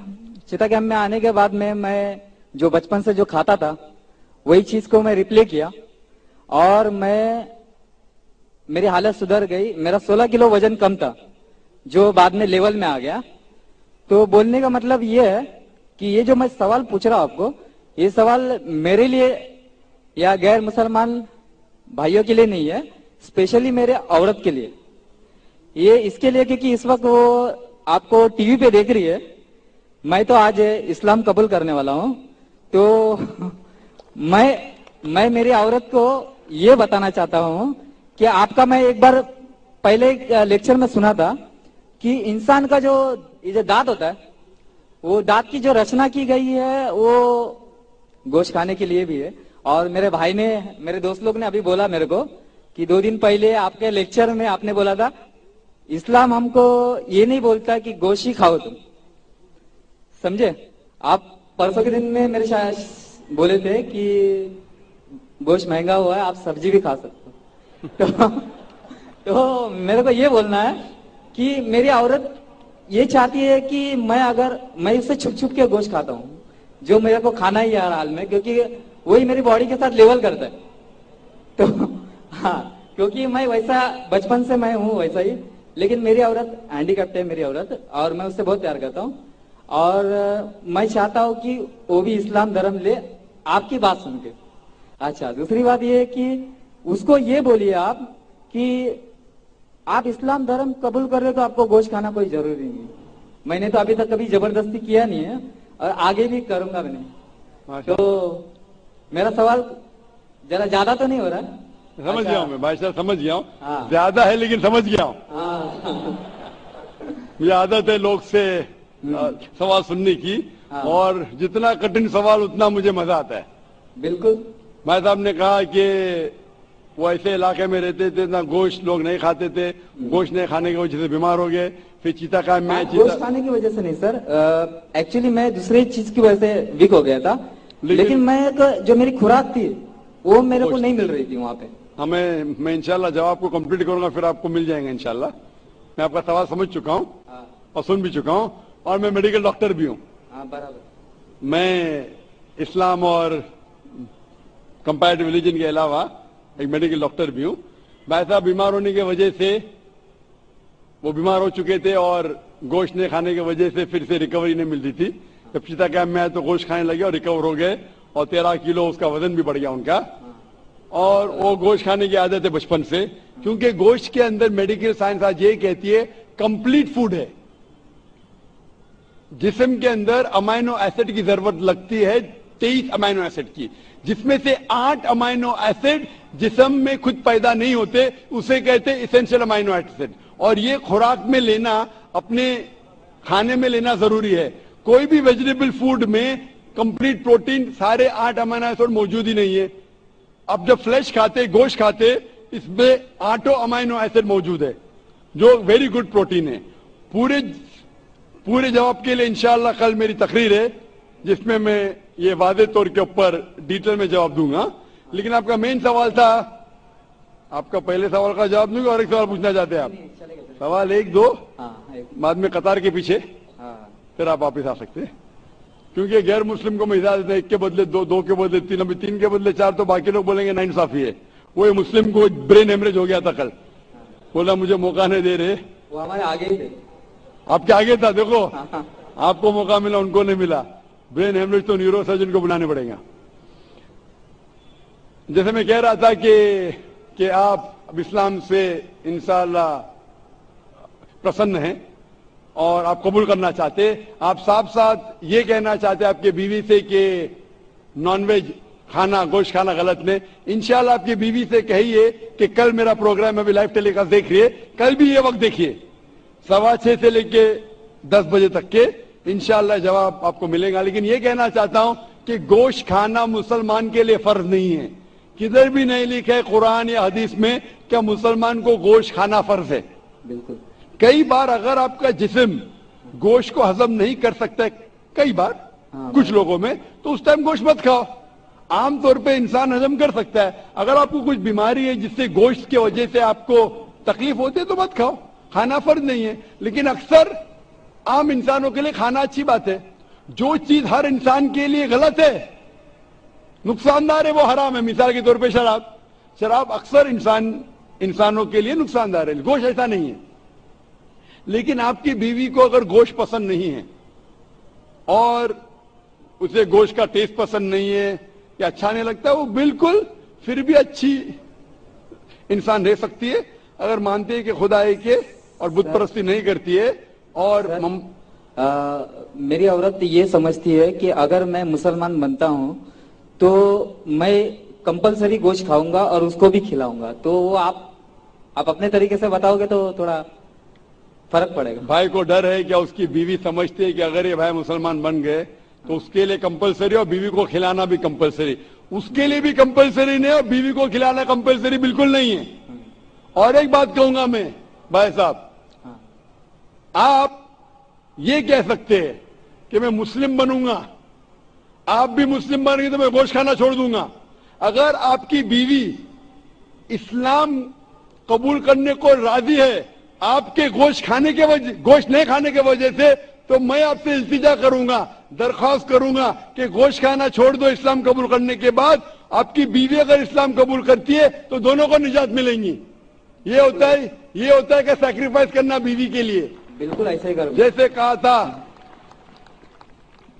कि एक सिजदा एक सजदा जिसे तू समझता था गिरा है एक सिजदा जिसे तू समझता था गिरा है हज़ारों सिजदे से देती है आदमी को निजात। हज़ारों सिजदे से देता है आदमी को निजात। मतलब जिससे डर है आपके बीवी को कि इस्लाम कबूल करेंगे। कबूल कर लेंगी तो इंशाअल्लाह बाकी परेशानी से उसे निजात मिलेंगी। मैं आपसे पूछना चाहता हूँ भाई साहब हाँ। आप आप इस्लाम कबूल करना चाहते हैं? बिल्कुल करना चाहता आप मानते हैं कि खुदा एक है बिल्कुल एक आप मानते हैं कि बुत परस्ती गलत है? बिल्कुल गलत। है आप मानते हैं मोहम्मद सल्लल्लाहु अलैहि वसल्लम आखिरी पैगंबर है? हाँ आखिरी पैगंबर। आपको कोई भी ज़बरदस्ती करे इस्लाम कबूल करने के लिए? बिल्कुल नहीं। कोई भी दबाव? बिल्कुल नहीं। आप दिल से करना चाहते हैं? दिल से। अपने होशो आवाज़ में? होशो आवाज़। कोई भी ज़बरदस्ती नहीं कर रहा है? नहीं। इंशाल्लाह मैं अरबी में कहूँगा आप उसे दोहराइए। अशदु अशदु अल्लाह। अल्लाह। इलाहा। इलाहा। इल्लल्लाह।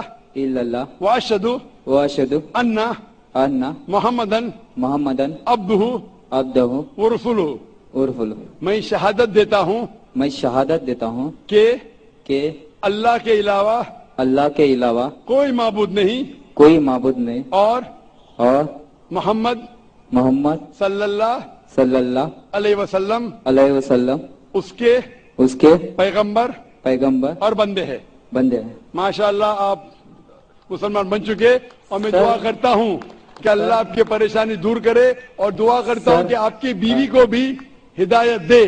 हाँ सर मैं क्या बोल रहा हूँ कि मेरे लड़के का नाम सचिन है सचिन कदम है। जी हाँ। मैं मेरा नाम साजिद रख रहा हूँ जी हाँ। साजिद। लेकिन सर ने मैं मेरा कदम ही रखूँगा क्योंकि मेरे पिताजी बहुत ग्रेट इंसान थे बहुत अच्छी हाँ। अच्छी बातें करते थे वो और मेरे को उन्होंने वैसे ही जीने के लिए सिखाया। वो बोलते थे कि ज़िंदगी में हमेशा स्टाइल से जीना चाहिए और ज़िंदगी का सच्चा स्टाइल दूसरों के लिए जीना चाहिए। तो मैंने जब हैंडीकैप मेरे औरत से शादी किया तो उसके बाद मैं बहुत तकलीफ़ के साथ में अपनी ज़िंदगी गुजारा। मैं चाहता हूँ कि आज के बाद में मेरे ज़िंदगी में वापस तकलीफ़ नहीं आए। मैं मुसलमान बन, बन रहा हूँ। तो इसके लिए सब मेरे मुसलमान भाई मेरे लिए दुआ करें। इंशाल्लाह भाई साहब की दरख्वास्त है हम दुआ करें उनकी ज़िंदगी में तकलीफ़ ना आए। मैं दुआ करूँ। आपने कहा कि आपका नाम साजिद रखना चाहते हैं अल्हम्दुलिल्लाह अच्छा नाम है। कदम आपका सरनेम कदम आमतौर पे इस्लाम में सरनेम बदलने की इजाज़त नहीं है क्योंकि सरनेम से पता चलता है आपके खानदान के बारे में। तो तो- तो खान आपको सरनेम वही रखना ज़रूरी है। अच्छा। आप बदलना चाहे तो भी मत बदलिए। अच्छा। आप अच्छा, अपना नाम बदल सकते हैं लेकिन सरनेम मत बदलिए। मेरा मेरा जो लड़का है भाई साहब भाई साहब हाँ बोलिए। भाई साहब बाकी लोग आपके पीछे खड़े हैं। हाँ। जी हाँ, आप चाहते हैं आपके मुश्किल दूर हो तो दुआ करने के लिए कह रहा हूँ लोग से। आप सवाल पे सवाल करेंगे तो दुआ करने का टाइम ही नहीं देंगे ना। बराबर। बराबर कि नहीं? हम दुआ करते हैं कि अल्लाह ताला आपके ज़िंदगी को आसान बना लेकिन ये नहीं कहूँगा कि तकलीफ़ ना आए। ये कहूँगा कि जो आपके आखिरत के हक में हो अल्लाह ताला आपको इतनी तकलीफ़ कभी भी नहीं देगा जो आप वो तकलीफ़ उठा ना सके। कुरान मजिद में अल्लाह ताला फरमाते सुर बकरा में सुरा नंबर दो आयत नंबर 286 में कि अल्लाह सुबहाना ताला कोई भी इंसान को इतनी तकलीफ़ नहीं देता कि वो उठा न सके। अल्लाह ताला का वादा है फिर भी हम दुआ करते हैं, या रब हमें इतनी तकलीफ़ ना दे जो हम बर्दाश्त ना कर सके क्योंकि हम अपने पैर पे कुलाड़ी मारते अल्लाह ताला कभी भी कोई भी इंसान को इतनी मुश्किलात नहीं देता, इतनी तकलीफ़ नहीं देता जो उठा ना सकता।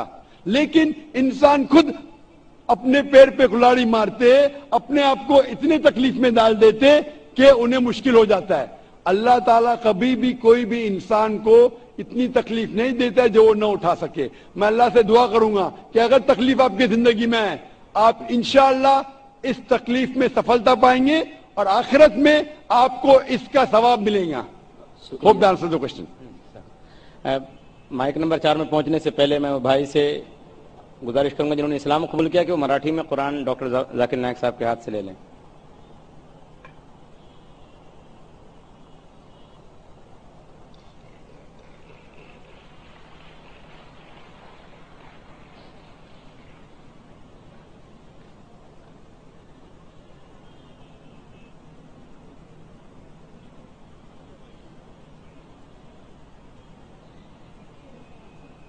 माइक नंबर चार में कोई नॉन मुस्लिम खातून हो तो सवाल करें।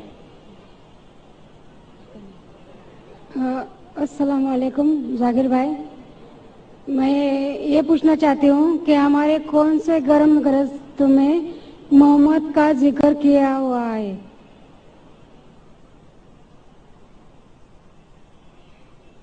वालेकुम सलाम बहन जी। बहन जी का सवाल है कि उनके कौन से मजहबी किताबों में मोहम्मद वसल्लम का ज़िक्र है। मेरी तकरीर है, मोहम्मद वसल्लम का ज़िक्र हिंदू मजहबी किताबों में, वो एक घंटे की तकरीर है। अभी वक्त की किल्लत होने की वजह से सिर्फ़ चंद हवाले दूँगा मैं, और एक एक पेशन गोई के बारे में मैं डिटेल में कहूँगा। मोहम्मद वसल्लम का ज़िक्र हिंदू हिंदू मजहबी कई किताबों में है।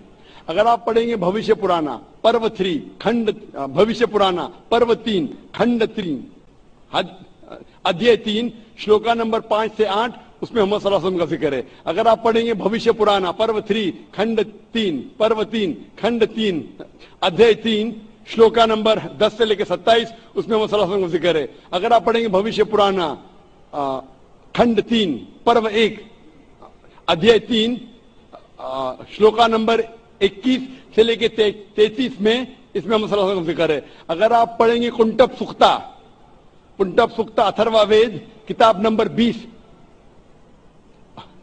अध्याय नंबर 127 श्लोका नंबर एक से तेरह, इसमें मोहम्मद का ज़िक्र है। अगर आप पढ़ेंगे अथर्वा वेद, किताब नंबर 20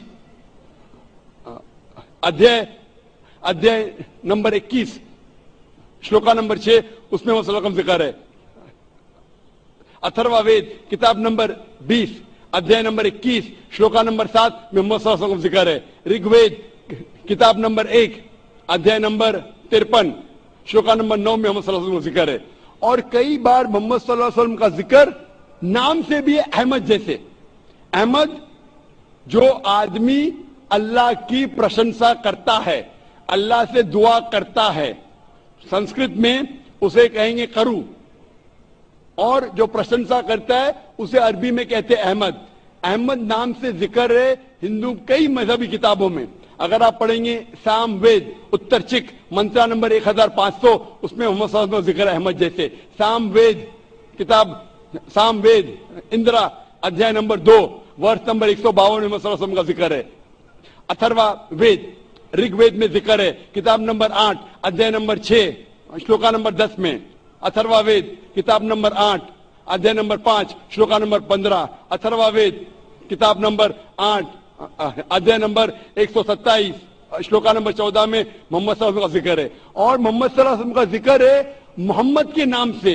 नर शंसा, नर मतलब आदमी, शंसा मतलब तारीफ़ के लायक, नर शंसा मतलब तारीफ़ के लायक आदमी। अरबी में उसका तर्जुमा करेंगे, होता है मोहम्मद। मोहम्मद सल्लल्लाहु का ज़िक्र कई बार हिंदू मजहबी किताबों में है।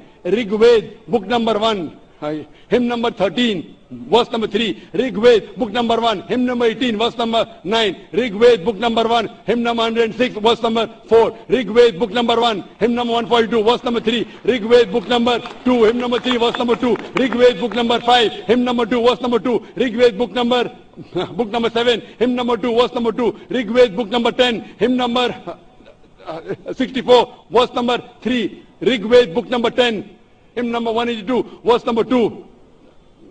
Yajurved, chapter number 20, verse number 37. Yajurved, chapter number 20, verse 57. Yajurved, chapter number 21, verse number 31. Yajurved, chapter number 21, verse number 55. Yajurved, chapter number 28, verse number 2. Yajurved, chapter number 28, verse number 19. Yajurved, chapter number 28, verse number 82. Yajurved, chapter number 29, verse number 27. मैं सिर्फ़ हवाले सैकड़ों दे सकता हूँ आपकी हिंदू मजहबी किताबों में मोहम्मद वसल्लम की पेशन गोई के बारे में वक्त की किल्लत होने की वजह से सिर्फ़ एक के बारे में मैं ज़िक्र कहूँगा हवाले के अलावा आपकी मजहबी किताबों में ज़िक्र आता है कल की अवतार के बारे में कल की अवतार लिखा है कल की पुराना में अध्याय नंबर दो श्लोका नंबर पाँच सात नौ, ग्यारह, पंद्रह में ज़िक्र आता है कल के अवतार के बारे में। इसमें लिखा है कि कल की अवतार के वालिद का नाम है विष्णु यास विष्णु मतलब अल्लाह, ईश्वर। यास मतलब बंदा सर्वेंट सर्वेंट ऑफ़ अल्लाह अल्लाह का बंदा। अरबी में तर्जुमा करेंगे तो अब्दुल्ला हो जाता है। और हम जानते हैं मोहम्मद वसल्लम के वालिद का नाम था अब्दुल्ला उसकी वालदा का नाम है सुमति। सुमति मतलब शांति। अरबी में होता है आमिना। मोहम्मद वसल्लम के वालदा का नाम था आमिना। ये पैदा होंगे एक अमन के शहर में, हम इसे कहते हैं मक्का। ये ऐसे खानदान में पैदा होंगे जो उस शहर के ठेकेदार थे, जो उस शहर के हम जानते हैं कि मोहम्मद वसल्लम कुरैश खानदान में पैदा हुए। लिखा है कि वो दुनिया के लिए ही विल बी ए टीचर एक मुदर्रिस रहेंगे सारे दुनिया के लिए और रहमत फैलाएँगे। हम जानते हैं मोहम्मद सल्लल्लाहु अलैहि वसल्लम सारे आलमीन के लिए रहमत वाले हैं। इसमें लिखा है कि उन्हें सबसे पहली वही आएँगी रात के वक्त, एक केव में, एक गार में। हम जानते हैं मोहम्मद सल्लल्लाहु अलैहि वसल्लम को सबसे पहली वही पहली वही जो है वो गार हिरा में।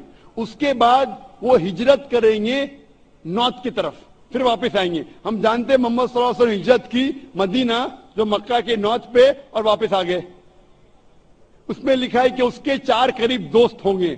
हम जानते चार खुलफा राशिदीन, हज़रत अबू बकर, हज़रत उमर, हज़रत उस्मान, हज़रत अली रदी अल्लाह इन सारे मोहम्मद वसल्लम के करीब दोस्तों में से थे, ये चार खुलफा राशिदीन थे। इस तरीके से साफ़ तौर पे कल के अवतार की पेशन गोई है और ये पेशन गोई सिर्फ़ मोहम्मद और सिर्फ़ मोहम्मद सल्लल्लाहु अलैहि वसल्लम पे उतरती है। हु बहु? तो हर हिंदू अगर अपनी मजहबी किताब पढ़ेगा उसे मानना होगा कि आखिरी आने वाले पैगंबर मोहम्मद सल्लल्लाहु अलैहि वसल्लम है। मैं आपसे पूछना चाहता हूँ आप मानते हैं कि मोहम्मद सल्लल्लाहु अलैहि वसल्लम आखिरी पैगंबर है? जी। आप मानते हैं कि खुदा एक है? जी। आप मानते हैं कि बुद्ध परस्ती मूर्ति पूजा गलत है? गलत है। तो आप मुस्लिम बनना चाहेंगे? जी। आपको कोई भी ज़बरदस्ती कर रहा है इस्लाम कबूल करने के लिए? जी नहीं। आप अपने दिल से करना चाहती? जी। होशो हवास में? जी। कोई भी दबाव नहीं? जी नहीं। इंशाल्लाह मैं अरबी में कहूँगा जी। आप उसे दोहराइए। जी। अशदु अशदु अल्लाह अल्लाह इलाहा इलाहा इल्लल्लाह इल्लल्लाह व अशदु व अशदु अन्ना अन्ना मोहम्मदन मोहम्मदन अब्दुहु अब्दहु व रसूलु व रसूलु मैं गवाही देती हूँ मैं गवाही देती हूँ के के अल्लाह के अलावा अल्लाह के अलावा कोई माबूद नहीं कोई माबूद नहीं और और मोहम्मद मोहम्मद सल्लल्लाहु सल्लल्लाहु अलैहि वसल्लम अलैहि वसल्लम उसके उसके पैगंबर पैगंबर और बंदे हैं। और बंदे माशाल्लाह मुस्लिम बन चुकी है। और मैं दुआ करता हूँ अल्लाह सुबहान ताला से कि आपकी जो मुश्किलात का हल करे और अल्लाह आपको इस दुनिया और आखिरत में सफलता पाए और अल्लाह इंशाल्लाह आपको जन्नत नसीब फरमाए। मुझे एक आपसे एक इनाम चाहिए। बहन चाहती है कि मैं उनके लिए एक नाम दू। आप अपने आप को खतीजा कह सकती है। खतीजा जो मोहम्मद सल्लल्लाहु अलैहि वसल्लम की पहले बीविया का नाम था एलिया का नाम था। जी शुक्रिया। जी माइक नंबर पाँच में कोई नॉन मुस्लिम बहन हो तो सवाल Uh, Assalamu alaikum, brother Zakir Naik. Um, I'm from Kerala, so this English is more comfortable for me. Uh, so my question here, here is, uh, I have, in fact, I'm a revert sister uh, and just one and a half to two months old. Uh, and I try my family to make them understand what Islam is and all that. So today, uh, my dad put a condition like you go to temple, you come with me to temple, so I will come uh, here to in peace conference. So as my dad is a very good person, he's kept his promise. He's come to peace conference. Um, so my question is, what I did is was for the cause, for a good cause. But I had to go to temple and I was always telling, House Bilani min Shaitanir Rajim. So what I did, was it wrong? And uh, second piece of advice, what would you like to, I mean, advise my, not advise my, uh, but at least make him understand what this Islam is. And I'm sure he is somewhere here and he's listening. बहन का सवाल है कि वो केरला से है और अंग्रेज़ में और महारत रखती है मैं बम्बई से और मैं भी अंग्रेज़ी में महारत रखता हूँ लेकिन मजबूरी है क्योंकि ये सवाल जो आपका सेशन उर्दू या हिंदी में है तो मैं जिद्दोजहद कर रहा हूँ कि लोगों को पैगाम पहुंचाऊं इस जबान में। बहन का सवाल है कि चंद महीने पहले दो या तीन महीने पहले उसने इस्लाम कबूल किया है? और और उसके वालिद जो अच्छे इंसान है जब वालिद को उसने कहा कि आप पीस कॉन्फ्रेंस में आओ? तो वालिद ने शर्त लगाई कि आप अगर टेंपल में आएँगे मंदिर में आएँगे तो मैं पीस कॉन्फ्रेंस में आऊँगा। तो उसके वालिद तो पीस कॉन्फ्रेंस में आ गए। तो क्या उसने जो शर्त लगाई वो सही थी या गलत थी? आपने अगर अपने वालिद को कहा कि टेंपल में आप जाएँगी टेंपल में जाना गलत नहीं है टेंपल में बुत परस्ती करना, मूर्ति पूजा करना गलत है। मैं भी कई टेंपल में जा चुका हूँ, कई टेंपल में। देखने के लिए टेंपल में क्या है? तो अगर आप टेंपल जाती है और मूर्ति पूजा नहीं करती है और दिल में मानती है कि खुदा एक है। उसके अलावा कोई माबूद नहीं। बुत परस्ती गलत है तो टेंपल में जाना कोई हर्ज नहीं है। लेकिन टेंपल के सामने अगर आप सिजदा करेंगे मूर्ति को तो गलत है। तो अगर आपने वादा किया है, अपने वालिद से कि टेंपल जाएँगे, बेशक जाइए उसके साथ। लेकिन बुत परस्ती मत कीजिए। Don't do idol worship you can go to the temple but don't do idol worship doing idol worship is wrong if you believe in your heart that there's one God idol worship is wrong, going to temple is no problem. तो जब तक आप बुद्ध परस्ती मूर्ति पूजा नहीं करती आप temple जा सकती है। और आपने कहा कि आपके वालिद से कुछ बात कहूँ ताकि उसे हिदायत मिले। मैं कहना चाहता हूँ इस बहन के वालिद से कि आप बिगर मजाहिब का मुताला कीजिए। चाहे बाइबल का चाहे वेद का चाहे भगवत गीता का चाहे कुरान का, और आपको पता लगेगा कि सारे मजहबी किताब कहते हैं कि खुदा एक है। और उस खुदा के अलावा कोई मबूद नहीं। मैं आपसे पूछना चाहता हूँ कि अगर आप पढ़ेंगे आपके वेद, जो मैंने कह चुका हूँ, उसमें भी साफ़ तौर से ज़िक्र आता है कि खुदा एक है और बुद्ध परस्ती गलत है। जैसे मैंने कहा कि श्वेता श्वेता उपनिषद में, अध्याय नंबर चार, श्लोका नंबर उन्नीस यजुर्वेद, अध्याय नंबर बत्तीस, श्लोका नंबर तीन में लिखा है, न तस्य प्रतिमा अस्थि उस ईश्वर, उस भगवान की कोई प्रतिमा नहीं, कोई अक्ष नहीं, कोई पिक्चर नहीं, कोई पेंटिंग नहीं, कोई फोटोग्राफ नहीं, कोई बुत नहीं, कोई मूर्ति नहीं। तो मूर्ति पूजा करना हिंदू मजहबी किताब के हिसाब से भी गलत है। ये कुछ हिंदू धर्म के ठेकेदार कहते हैं जो मजहबी किताब में नहीं लिखा है। तो मेरी इल्तिजा है आपसे, मेरी दरखास्त है आपसे कि आप अपने किताब का मुताला कीजिए। और जो ज्ञान रखते हैं आपके किताब के बारे में, उनसे पूछिए। उसमें लिखा है कि मूर्ति पूजा गलत है और जो मैं हवाले दिया है, आप उनसे पूछिए, इसकी क्या मानी है? एक एक मुसलमान कह रहा था पतला सा टोपी पहने हुए, दाढ़ी रखे हुए, कि मूर्ति पूजा गलत है। लिखा है श्वेता श्वेता उपनिषद अध्याय नंबर चार श्लोका नंबर उन्नीस में। ये क्या सही कह रहा है? आप लाइब्रेरी में जाओ और उसका तर्जुमा पढ़ो आपको पता चलेगा क्या लिखा है। और मैं अल्लाह से दुआ करता हूँ कि अल्लाह आपको हिदायत दे ताकि आप भी अपनी बेटी जैसे सही रास्ते पे आ सके। थैंक यू माइक नंबर एक। सर मेरा नाम रविंद्र शंकर रविंद्र शंकर बलैया है। मैं हिंदू धर्म से नहीं हूँ, लेकिन मैं सनातन धर्म से बिलोंग करता हूँ। सर, आपसे क्वेश्चन पूछने से पहले कहना चाहूँगा कि मेरे क्वेश्चन एक नहीं है, मेरे क्वेश्चन तीन चार है। If you don't mind so can we carry on भाई साहब, का सवाल है तीन चार क्वेश्चन है, क्या पूछ सकता हूँ? भाई साहब, एक पूछे। अभी खाली हमारे पास पंद्रह मिनट है। आमतौर पे मैं तीन या चार मिनट लेता हूँ। चार या तीन या चार सवाल का तीन तक तो आपसे ही खत्म हो जाएगा पूरा। सारे लोग लाइन में खड़े किसको हार्ट अटैक हो सकता है, किसको ब्रेन हेमरेज हो सकता है। आपका सबसे अहम सवाल पूछिए। सबसे अहम सवाल। है सर जैसे कि आप कहते हैं कि हमारे सबसे, जो हमारे भगवान होगा, सब, उसमें सबसे टॉप पे अल्लाह को आपने दर्जा दिया हुआ है। तो मैं सर कहना चाहूँगा कि आपके इसमें माता पिता का दर्जा भी मैंने पढ़ा है तो माता पिता का दर्जा भी आपने कहा है कि एक अच्छा दर्जा है। जैसे अल्लाह ने कहा है कि माँ एक ऐसी चीज़ है जो मेरे बाद जिनका ज़िक्र होना चाहिए तो माँ का ज़िक्र होना चाहिए। तो मेरा सवाल यही है, सर, कि जब माँ एक बच्चे को जन्म देती है, एक माँ एक बच्चे को जन्म देती है तो बच्चे का जो पहला लफ्ज होता है, वो माँ क्यों होता है, वो अल्लाह क्यों नहीं होता? का अच्छा सवाल है, वो कह रहे थे, मैं हिंदू नहीं हूँ, मैं सनातन धर्म से हूँ। अक्सर लोग कहते ये सनातन धर्म एक शाखा है हिंदुइज्म की। आप कहते हैं आम हिंदू ने मैं मानता हूँ, क्योंकि सनातन धर्म के बारे में पढ़ चुका हूँ। सनातन धर्म वाले मानते खुदाई के मानते बुद्ध परस्ती गलत है मूर्ति पूजा गलत है। आप भी मानते मूर्ति पूजा गलत है? सर मैंने पढ़ा है। मैं जैसे मेरे नहीं मेरे आप कहते हैं आप सनातन धर्म से। हाँ सर। आप मानते मूर्ति पूजा गलत हाँ? है सर। मैं तो कहता ही हूँ। तो हर हिंदू इस पे अमल करना चाहिए कि खुदा एक है और मूर्ति पूजा गलत है। आपका सवाल था कि मैंने कहा सबसे ऊँचे दर्जे पे है अल्लाह। बिल्कुल सही। उसके बाद आता है वालदेन। लेकिन बच्चा जब पैदा होता है वो सबसे पहला लफ्ज कहता है माँ। क्यों? अल्लाह क्यों नहीं क्यों मैं बोलूँ? क्योंकि अल्लाह को कहने की ज़रूरत नहीं।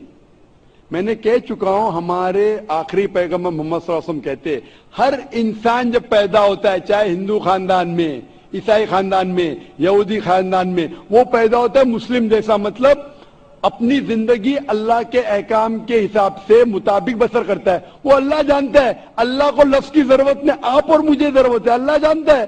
तो अल्लाह को बताने की ज़रूरत ही नहीं। जब पैदा होता है दिल धड़कता है तो अल्लाह जानता है ये मुस्लिम है। मैं ऐसे कैसे आप कह सकते हो दिल धड़कता है तो? ऐसा आप, तो दिल तो हम आप मेरा जवाब सुनेंगे क्या? बीच में मुझे इंटरजेक्ट करेंगे। आपने सवाल पूछा मैंने इंटरजेक्ट किया? आपने सवाल किया मैंने इंटरजेक्ट किया? नहीं सर तो मेरे इस जवाब को तो खत्म होने दो। अब सवाल ही कि जवाब ही नहीं खत्म हुआ आप कैसा जानते?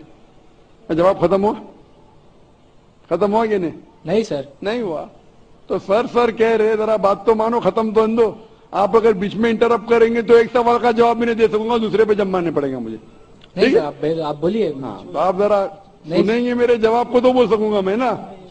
आपका माइक खुला होने का मतलब ना आप इंटरजेक्ट करे। तो बच्चा जब पैदा होता है मुझे कैसा पता है? क्योंकि किताब में लिखा है, अल्लाह के रसूल फरमाते हैं कि हर बच्चा जब पैदा होता है, खुदा कहता है हर बच्चा जब पैदा होता है, मुस्लिम पैदा, इसलिए मुझे पता चला है, आपने कुरान और हदीस नहीं पढ़ी, मैंने पढ़ा हूँ। और दिल धड़कता, मैं डॉक्टर हूँ, आपने डॉक्टरी की नहीं की? मैं डॉक्टरी क्या मैं जानता हूँ? बच्चा जब पैदा होता है, सांस लेता है। सांस नहीं लेता, अल्लाह को पता चलता है ये मुस्लिम है। लेकिन इंसान को नहीं पता चलता है। तो माँ कहता है तो हमारे इंसान को पता चलता है, माँ। तो सबसे पहले अल्लाह फिर माँ तो अल्लाह को पता लगने के लिए बोलने की ज़रूरत नहीं। उसका एक्शन ही कहता है कि वो मुस्लिम है। जब बच्चा पैदा होता है, वो सांस लेता है, दिल धड़कता है वो ही कहता है कि मुस्लिम है। बोलने की ज़रूरत नहीं। जानवर से बात करने के लिए हम बोलेंगे, जानवर नहीं समझेंगे। उनकी जबान अलग होती है। हमारी जबान अलग है। तो बच्चा माँ जब कहता है, मम्मी कहता है, अक्सर म से आता है। अक्सर म से आता है। तो ये लफ्ज है, आसान लफ्ज है, बोलने के लिए सारे जबानों में, चाहे इंग्लिश है, चाहे हिंदी हो, चाहे मराठी हो, माँ बोलना आसान है। इसीलिए ये लफ्ज से म से आता है, माँ, मम्मी, मदर, अक्सर। तो ये आसान लफ्ज है, इसीलिए वो माँ जब लफ्ज सुनती है खुश होती है। अल्लाह उसके पहले ही जानता है तो अल्लाह सबसे अव्वल है। को दिल धड़कता है सांस लेते अल्लाह को मालूम पड़ जाता है। आपको नहीं पता चलता है मुझे नहीं पता चलता। मुझे तो पता लग गया आपको अब तक पता नहीं चला क्योंकि आपने रिसर्च नहीं किए। आप मुझे पूछेंगे ये बीमारी की दवा क्या है? मैं बीमार बुखार है मुझे तो मैं क्रोसिन लो मेटासिन लो पैरासिटामोल लो। आपको कैसा पता चला? क्योंकि मैंने मेडिसिन किया। आपने किए? नहीं किए। नहीं किए इसलिए पता है मुझे तो मैंने किताबें पढ़ा हूँ मजहबी किताबें पढ़ा इसलिए मुझे पता। आपने पढ़ी है? तो आप भी पढ़िए मैं आपसे पूछना चाहता हूँ मैंने आपका सवाल का जवाब दिया। मैं अभी सवाल पूछना चाहता हूँ आपसे। आप सनातन धर्म से आप मानते खुदा है के? हाँ। आप मानते हैं कि खुदा मूर्ति पूजा गलत है? हाँ। आप मानते हैं कि आखिरी पैगंबर मोहम्मद सल्लल्लाहु अलैहि वसल्लम है? सर लिखा गया है तो मैं मानता हूँ। मैंने इतने हवाले दिया। वो बहन ने सवाल किया कि मोहम्मद सल्लल्लाहु अलैहि वसल्लम का ज़िक्र क्या है? मेरी पूरी तकरीर एक घंटे की मैंने एक घंटा तो लिया ने दस मिनट के अंदर इतने हवाले दिया। सैकड़ों में से कम अज कम पच्चीस तीस हवाले तो दिया होगा।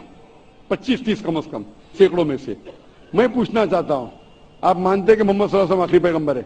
सर आपको जवाब देने से पहले कहना चाहूँगा कि ये मेरे किताब में लिखा गया है हमारे धर्म में लिखा गया तो मैं मानता हूँ उसे। बिल्कुल सर। तो वही तो कह रहा हूँ मैं मैंने पहले कह चुका हूँ आप हर धार्मिक किताब के तालविला कलीमतिन सवा इम बैन बैनकुम। कुरान में लिखे है सूर्य इमरान में सूर्य नंबर तीन आयत नंबर चौसठ में आओ उस बात की तरफ़ जो आप और हमें यकसा है जो आपकी किताब और मेरी किताब में यकसा उसके ऊपर तो अमल करो जो इख्तिलाफी बातें कल डिस्कस करेंगे आपकी हिंदू मज़हब की किताब में आपके वेद में लिखेला है कुरान में लिखेला खुदा एक है आपकी किताब में लिखेला बुत परस्ती हराम है मेरी किताब में लिखेला है आपकी किताब में लिखेला आखिरी पैगंबर मोहम्मद सल्लल्लाहु मेरी किताब में लिखेला है आपकी किताब में लिखेला शराब हराम है मेरी किताब में लिखेला है आपकी किताब में लिखेला सुअर का गोश्त खाना हराम है मेरी किताब में लिखेला है हम इस पर अमल क्यों नहीं करते और अगर आप अगर आप मानते खुदाई के बुत परस्ती गलत है मोहम्मद आखिरी पैगंबर है आपकी किताब में लिखेला उसके पैगाम पे अमल करो आप करते? कल की अवतार आखिरी अवतार वालिद का नाम था विष्णु यास अब्दुल्ला माता का नाम था सुमति आमिना। पैदा हुए महफूज जगह पे अमन की जगह पे मक्का। वही मिली गारे हीरा में। गए शिमाल की तरफ़ नॉर्थवर्ड वापस आ गए। मक, मक्का से मदीना गए फिर मक्का आ गए। उनके चार दोस्त। इतने सब गहराई में दिया है लिखा है कि आप मानो के आखिरी पैगंबर है उसके पैगाम पे अमल करो। आप अमल करना चाहेंगे?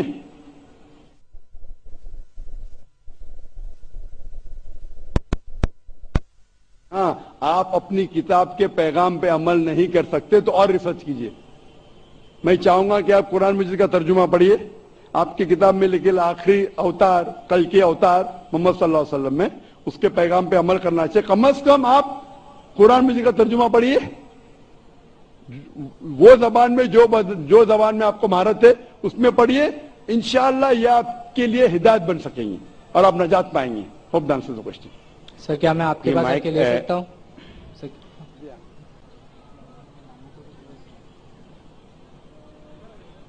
जी वहाँ आ जाइए भाई। हाँ, माइक नंबर दो में दो पे कोई भाई हो नॉन मुस्लिम भाई तो सवाल कर सकते हैं।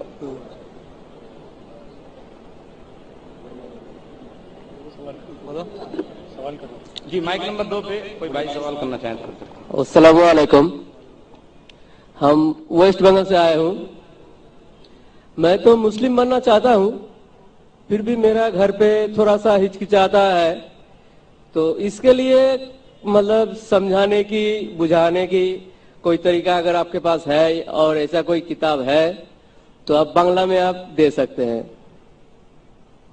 भाई साहब ने फरमाया कि मुस्लिम बनना चाहते हैं और चाहते हैं मैं ऐसी कुछ किताब दू बंगला में जिससे समझा जा सके उनके खानदान वाले को बराबर? Yes. सबसे बेहतरीन किताब है कुरान मजीद। आप कुरान मजीद का तर्जुमा लीजिए बंगला में। जी। और इंशाल्लाह वो पढ़ के आपके खानदान वालों को हिदायत मिलेंगी। और और एक चीज़ कहना आप पीस टीवी बंगला में देखिए। छह साल पहले हमने शुरू किया था पीस टीवी अंग्रेज़ी। चार साल पहले पीस टीवी उर्दू। अभी आठ नौ साल आठ नौ महीने पहले शुरू किया पीस टीवी बांग्ला।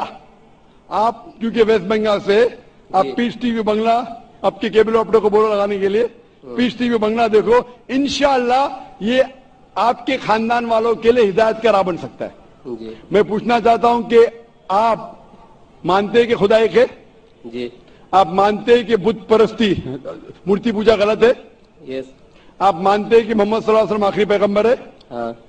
आपको कोई भी ज़बरदस्ती करे इस्लाम कबूल करने के लिए? जी नहीं। कोई भी दबाव? नहीं। आप अपने मन से करना चाहते एकदम। अपने दिल से अपने जहन के साथ? एकदम। कोई भी ज़बरदस्ती? कुछ नहीं। कोई भी दबाव नहीं। माशाल्लाह, वक्त की किल्लत होने होने होने की वजह से मैं दरखास्त करता हूँ कि सिर्फ़ पाँच मिनट बाकी है। अगर कोई भी भाई और बहन जो इस्लाम कबूल करना चाहता है, वो अपने माइक्रोफोन पे आगे आ सके, क्योंकि सवाल जवाब का वक्त बहुत कम है, पाँच मिनट बाकी है। जो भी गैर मुस्लिम अगर इस्लाम कबूल करना चाहता है, मानता है कि खुदा एक है और बुत पुरस्ती मूर्ति पूजा गलत है, और मानता है कि मोहम्मद सल्लल्लाहु आखिरी पैगंबर है वो माइक्रोफोन पे आ सकता है और एक साथ में हम शादा देंगे। मैं पूछना चाहता हूँ कि माइक नंबर दो पे ये भाई साहब के अलावा और कोई है जो इस्लाम कबूल करना चाहता है? माइक नंबर दो पे और कोई भाई साहब है? माइक नंबर तीन पे। माइक नंबर माइक नंबर माशाल्लाह नाम क्या उनका? मेरा नाम भरत है। भरत है माशाल्लाह और दूसरे का? कैलाश। कैलाश। आप मानते खुदा एक है हाँ। आप मानते बुत परस्ती गलत है? हाँ। आप दोनों मानते मोहम्मद वसल्लम आखिरी पैगंबर है? हाँ। आप पे कोई भी ज़बरदस्ती करे इस्लाम कबूल करने के लिए? नहीं। कोई भी दबाव? नहीं। आप मन से करना चाहते हाँ? होशो आवास में? बिल्कुल। माशाल्लाह। मैं आपके पास आऊँगा। माइक नंबर चार पे खवातीन के शोबों से। खवातीन के शोबे में से कोई भी बहन इस्लाम कबूल करना चाहती है सवाल जवाब का सेशन अभी समाप्त हो रहा है। कोई भी बहन इस्लाम कबूल करना चाहती है? वालेकुम सलाम बहन हम इस्लाम कबूल करना चाहती है? आप मानते खुदा एक है? एक्चुअली मैंने 10 साल पहले इस्लाम कबूल किया था लेकिन मैं 10 साल से ऐसे ही छुप के चल के आ रही हूँ। आपने कबूल किया लेकिन भड़क बहक गई। आप फिर से इस्लाम की तरफ़ आना चाहती है? बहक नहीं गई। मेरे पेरेंट्स को मैं दावा कर रही थी मेरे पेरेंट्स मुझे छुपा छुपा के ही इस्लाम छुपाने के लिए कह रहे लेकिन मैं आज पूरे पब्लिक के सामने माशाल्लाह दस साल से आप इस्लाम के ऊपर अमल करे चुपके चुपके आप पब्लिक के सामने कहना चाहती है कोई हर्ज नहीं। आप मानते खुदा एक है? हाँ। आप मानते कि बुत पुरुष की मूर्ति पूजा गलत है? हाँ। आप मानते मोहम्मद सल्लल्लाहु अलैहि वसल्लम आखिरी पैगंबर है? हाँ। कोई भी आपको ज़बरदस्ती करे इस्लाम कबूल करने के लिए? कुछ भी नहीं। कोई भी दबाव कुछ भी नहीं। माली दबाव माशी दबाव आप खुले दिल से करना चाहती है कबूल? कुछ भी नहीं। अपने हाँ, मन के साथ? हाँ। आप कर सकती हैं बहन इंशाल्लाह। उसके माइक नंबर पाँच पे। कोई भी बहन है जो इस्लाम कबूल करना चाहती है माइक नंबर चार या पाँच पे। कबूल करना चाहती हूँ? एक माइक- सवाल पूछना चाहती है सलाम वालेकुम। वालेकुम सलाम सवाल बाद में पूछ सकती है। दो मिनट में हमें खत्म करना पड़ेगा। आप इस्लाम कबूल करना चाहती है? नहीं अभी नहीं मेरे को एक सवाल पहला पूछने तो आप इंशाल्लाह ठहरिए बहन। वक्त देंगे कल पूछ सकते हैं। और कल अगर सवाल का जवाब मिला आप अगर खुश हो जाएँगी तो आप इंशाल्लाह कबूल कर सकती है। दूसरी कोई बहन है माइक नंबर चार या पाँच पे? कोई भी बहन है माइक नंबर चार या पाँच पे? नहीं। माइक नंबर एक पे? माइक नंबर एक पे? तो माइक नंबर दो पे एक भाई है माइक नंबर तीन पे दो भाई है और माइक नंबर पाँच पे एक बहन है। चार इंसान कबूल करना चाहती है जो माइक नंबर चार पे सवाल इंशाला कल पूछ सकती है आप खुश होंगे तो सवाल इंशाल्लाह कबूल कर मैं इंशाल्लाह शादा साथ में पढ़ूँगा और आप इसको दोहरा सकते अशदु अशहदु अल्लाह अल्लाह इलाहा इलाहा इल्लल्लाह इल्लल्लाह वशदु वअशहदु अन्ना अन्ना मोहम्मदन मोहम्मदन अब्दुहु अब्दुहु व रसूलुहु। व रसूलुहु। मैं शहादत देता हूँ मैं शहादत देती हूँ मैं शहादत देता हूँ के के अल्लाह के अलावा अल्लाह के अलावा कोई माबूद नहीं। कोई माबूद नहीं। और और मोहम्मद मोहम्मद सल्लल्लाहु वसल्लम वसल्लम उसके उसके पैगंबर पैगंबर और बंदे और बंदे। माशाल्लाह मुसलमान बन चुके। मैं अल्लाह से दुआ करता हूँ कि आपके मुश्किलात को मुश्किलात हल हो जाए और दुआ करता हूँ कि आपको इस ज़िंदगी और आखिरत में सफलता मिले। मैं दुआ करता हूँ कि आप सब लोग आप सब लोगों को जन्नत नसीब फरमाएँ। वो आखिर दावाना अल्हम्दुलिल्लाह रब्बिल आलमीन। खातिन हजरात, एक अहम और ज़रूरी ऐलान सुनते हुए जाएँ। कल इंशाअल्लाह हमारी दस रोज़ा कॉन्फ्रेंस का आखिरी दिन है और इमाम हरम, इमाम खान काबा शेख सऊद शुरैम की दुआ पर हमारी ये नशिस्त कल ख़त्म होगी। और कल डॉक्टर जाकिर नायक साहब की तकरीर है, सवा छह बजे ठीक शाम को, जिसका उनवान है इस्लाम के मुतालिक गैर मुस्लिमों के शुभात। आप खुद भी आइए, अपनी, अपने दोस्तों को, गैर मुस्लिम भाइयों और हमारी बहनें गैर मुस्लिम बहनों को भी साथ में लेके आइए। इसी के साथ साथ आज के इस इजलास का, के अख्ताम का ऐलान करता हूँ। असल वरहमल वर्का